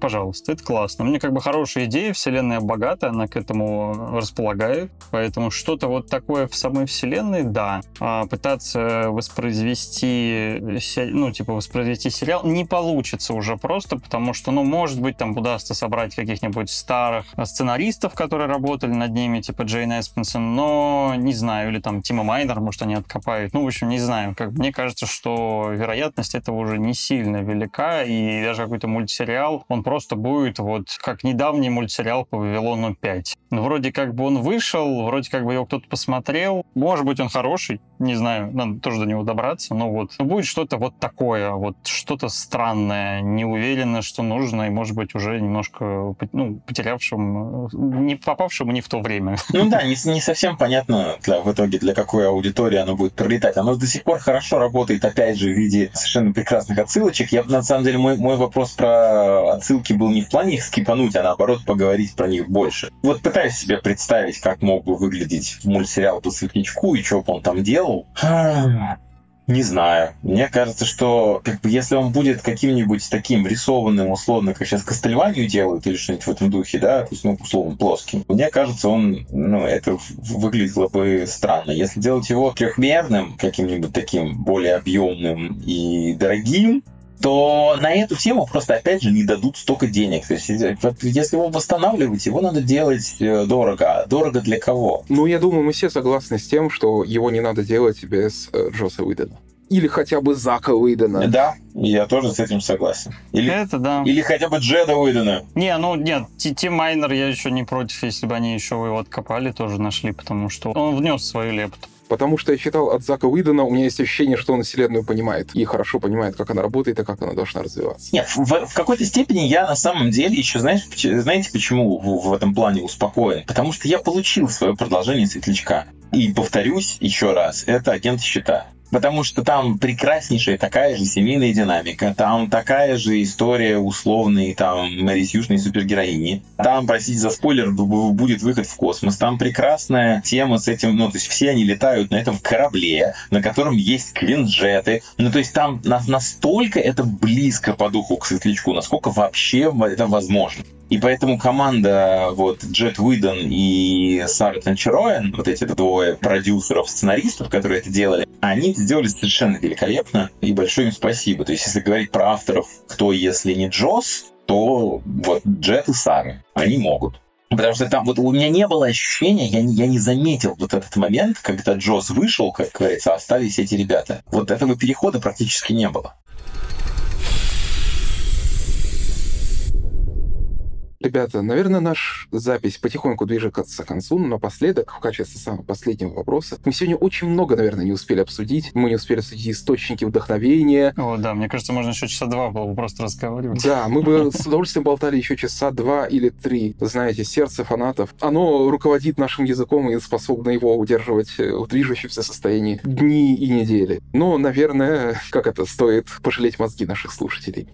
Но напоследок я бы вас попросил порекомендовать что-то около светлячка. Может, что-то, что к нему отсылает. Может, что-то, что тоже делал Джос Уидон, и тоже, что вам нравится, и тоже, что передает, о чем мы сегодня еще не упоминали. Может, что-то, что просто в чем люди могут найти дух этого светлячка. Может, какую-то его предысторию я могу начать. Кстати, раз уж я вас всех сегодня спрашиваю. Я бы, например, порекомендовал мультфильм, который Джос Уидон написал до «Светлячка», и в котором можно увидеть вот прям вот, знаете, первые наметки этого светлячка, то, как он работает со вселенной, то, как он вырисовывает характер этой вселенной, то, как он вырисовывает характеры героев. Это мультфильм называется «Титан. Последние дни Земли».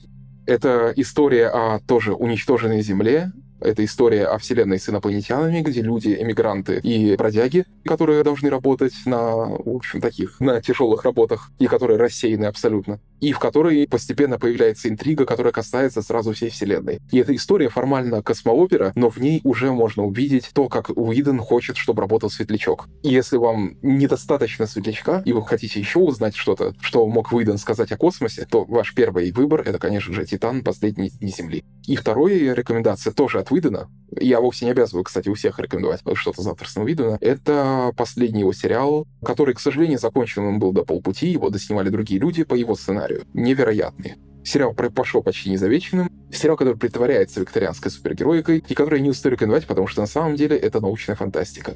Возможно, он вам не понравится, но он точно вам будет очень интересен. Нашим слушателям, если вы любите Светлячка так же, как люблю его я.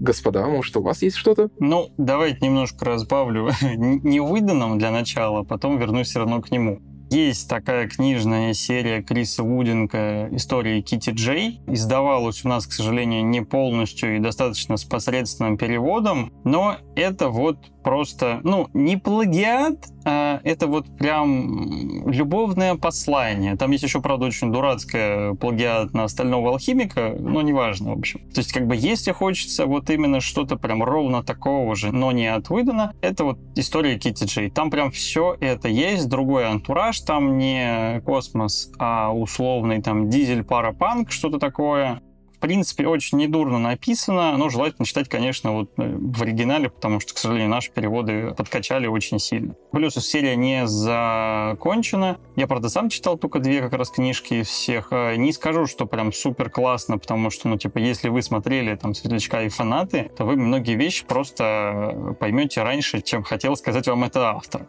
Но дух там прям вот ровно-ровно светлячковский абсолютно. То есть все, что там нужно, там есть корабль, команда, своеобразные капитаны и все остальные персонажи, которые как-то уживаются, это там есть. Это все вот в остальном, на самом деле, не, ну, типа, если космос... Вот все равно, «Светлячок» — это понятное дело, что это космический сериал, но вот не скажу, что прям куча у него аналогов, а так вот именно, если нравится именно сам стиль Уидона, то это, без сомнения, Баффи, Ангел. Причем Ангел — это такая более жесткая версия, Баффи, наверное, все-таки попроще чуть-чуть, хотя там тоже хватает моментов, которые берут тебя за душу и выкручивают. Но я считаю, вот, в принципе, вот тандем Баффи с Ангелом — это, наверное, квинтэссенция творчества Уидона, особенно особенно финал Ангел. Ну, то есть, как там я плакал, я не плакал нигде. Над конкретной аркой сюжетного э, одного из, персонажей не буду спойлерить. Ну, в общем, это прекрасная точка зрения, просто чтобы понимать, как мог продолжаться и вообще развиваться светлячок. Мне кажется, надо вот это точно посмотреть, потому что, ну, это очень классно с точки зрения вот именно сериальной динамики, когда человек просто понимает, как работают сериалы, как работают медиум, как вот это все устроено, и действительно каждый сезон улучшает что-то в формуле существующей, развивая ее, взращивая и добавляя туда какой-то там креатива, которого не хватало там до этого. То есть э, пятый сезон Ангела — это вообще отрыв башки, пятый сезон Баффи и седьмой сезон Баффи — это тоже как бы лучше. Очень рекомендую, вот именно если нужно именно вот эта вот химия, эти диалоги. Ну, опять-таки, упаси боже, смотреть что-либо из этого в русском переводе, потому что русские переводы РЕН-ТВ, которые там и вот это прочего того, что были, это просто жесть. То есть, господи, heartbroken как остановка сердца или сердечный приступ, это вот просто каждые пять минут. То есть, то есть там даже, по-моему, отсылки к Спайдермену выкидывали просто потому, что сложно было похоже. То, что наши переводчики переводят, и то, что говорят персонажи, по-моему, порой там даже даже в противоположных как бы по значению меняется. То есть там вот нельзя вообще ни в коем случае смотреть это в переводе, это ужасно. Так что это моя личная рекомендация. Ну, я уже сказал про агентов, не буду повторяться в данном случае. Я, на самом деле, порекомендую одну совершенно не фантастическую и не выдановскую вещь, но для меня она связана, естественно, со светлячком, потому что это Филиан. Он же, когда закопался в касле, он там, так сказать, раздобрел, обленился, полностью ушел в комедию, И потом, когда Касл закрылся, они довольно ну, продолжительное время не знал, куда себя нормально применить, потому что вот он тоже уже, пусть и в более крупных э, масштабах, чем э, Тюдик, просто влезал в какие-то разные сериалы, в комедийные камео, э, там, в фильмы тоже по чуть-чуть и так далее. И я, если честно, всегда мечтал, чтобы он вернулся в какую-то вот, вот эту вот форму, в которой он был в, в «Светлячке», в «Мэле, и актерскую, и физическую. И он это умудрился сделать в сериале «Новичок». Он же новобранец. Это полицейский процедурал, но Филин там совершенно великолепный. Он, конечно, хоть и постарел, но он опять набрал форму, я имею в виду, ну, стал опять поджарый. Он там не только комедийный, но и серьезный. Это в первый там сезона 3. Это очень крутой полицейский сериал в плане того, что поскольку это не детективные истории, а жизнь обычных патрульных, то там вот смешное опасное, страшное, грустное меняется просто по щелчку пальца каждые там три минуты. И он еще не стесняется довольно драматичных сюжетных поворотов и смертей определенных да. героев. Это редко для такого процедуры такого уровня. Он где-то с четвертого сезона становится немножко комиксным, потому что, видимо, сюжеты кончились, и герои из, из обычных полицейских уже превращаются в каких-то супергероев. И на ту тщательную проработку вот их работы, какая именно процедурности, да, то есть что они должны делать, вот, чтобы это было похоже на реальных полицейских, то, что они делали в первых сезонах. Сейчас, вот четвертый, пятый, они уже такие, они уже положили на это болт и просто делают веселые приключения. Но вот первые три, это прям мега круто. Интересный, продуманный, веселый, драматичный, с классными персонажами и с офигительным филианом. Просто с офигительным. Хорошо, спасибо. И я думаю, слушатели сегодня набрались рекомендаций достаточно долго. И надеюсь, это утолит в ваших сердцах хоть какую-то боль, если вы такие же фанаты, как мы, от бесплодного ожидания продолжения нашего общего любимого сериала.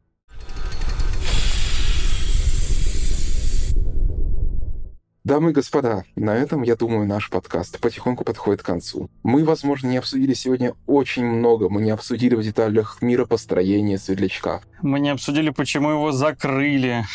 Да, почему его закрыли. Мы не обсудили, и, возможно, и слава богу, скандалы, связанные с Джоссом Уидоном, честно говоря, меня это волнует очень мало. Я больше про саму историю, чем про личность автора. Мы Могли бы говорить еще 2, 3, 4 или 5 часов, но мы были очень рады поговорить хотя бы это время. И мы надеемся, что, как и в наших сердцах, так и в ваших останутся эти слова, если вы позволите мне вольный перевод песни из титров сериала. А я думаю, мы просто ее споем все вместе.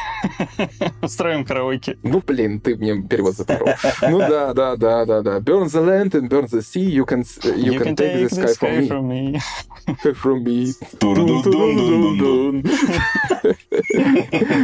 Мне нравится перевод «Выжги земли, высушь реки, с небом буду я навеки». Или второй есть вариант «Выжги землю, высушь воду, не отнимешь ты свободу». Не знаю, какой вам ближе? Неплохо, кстати. Мне, мне нравится вот очень красиво в самом оригинале это вот эта вот игра с названием Serenity. Всегда так очень мило. Типа то, что и спокойствие, и непосредственно название корабля. Ага. Ну что же, друзья мои, я очень рад был вас всех сегодня видеть.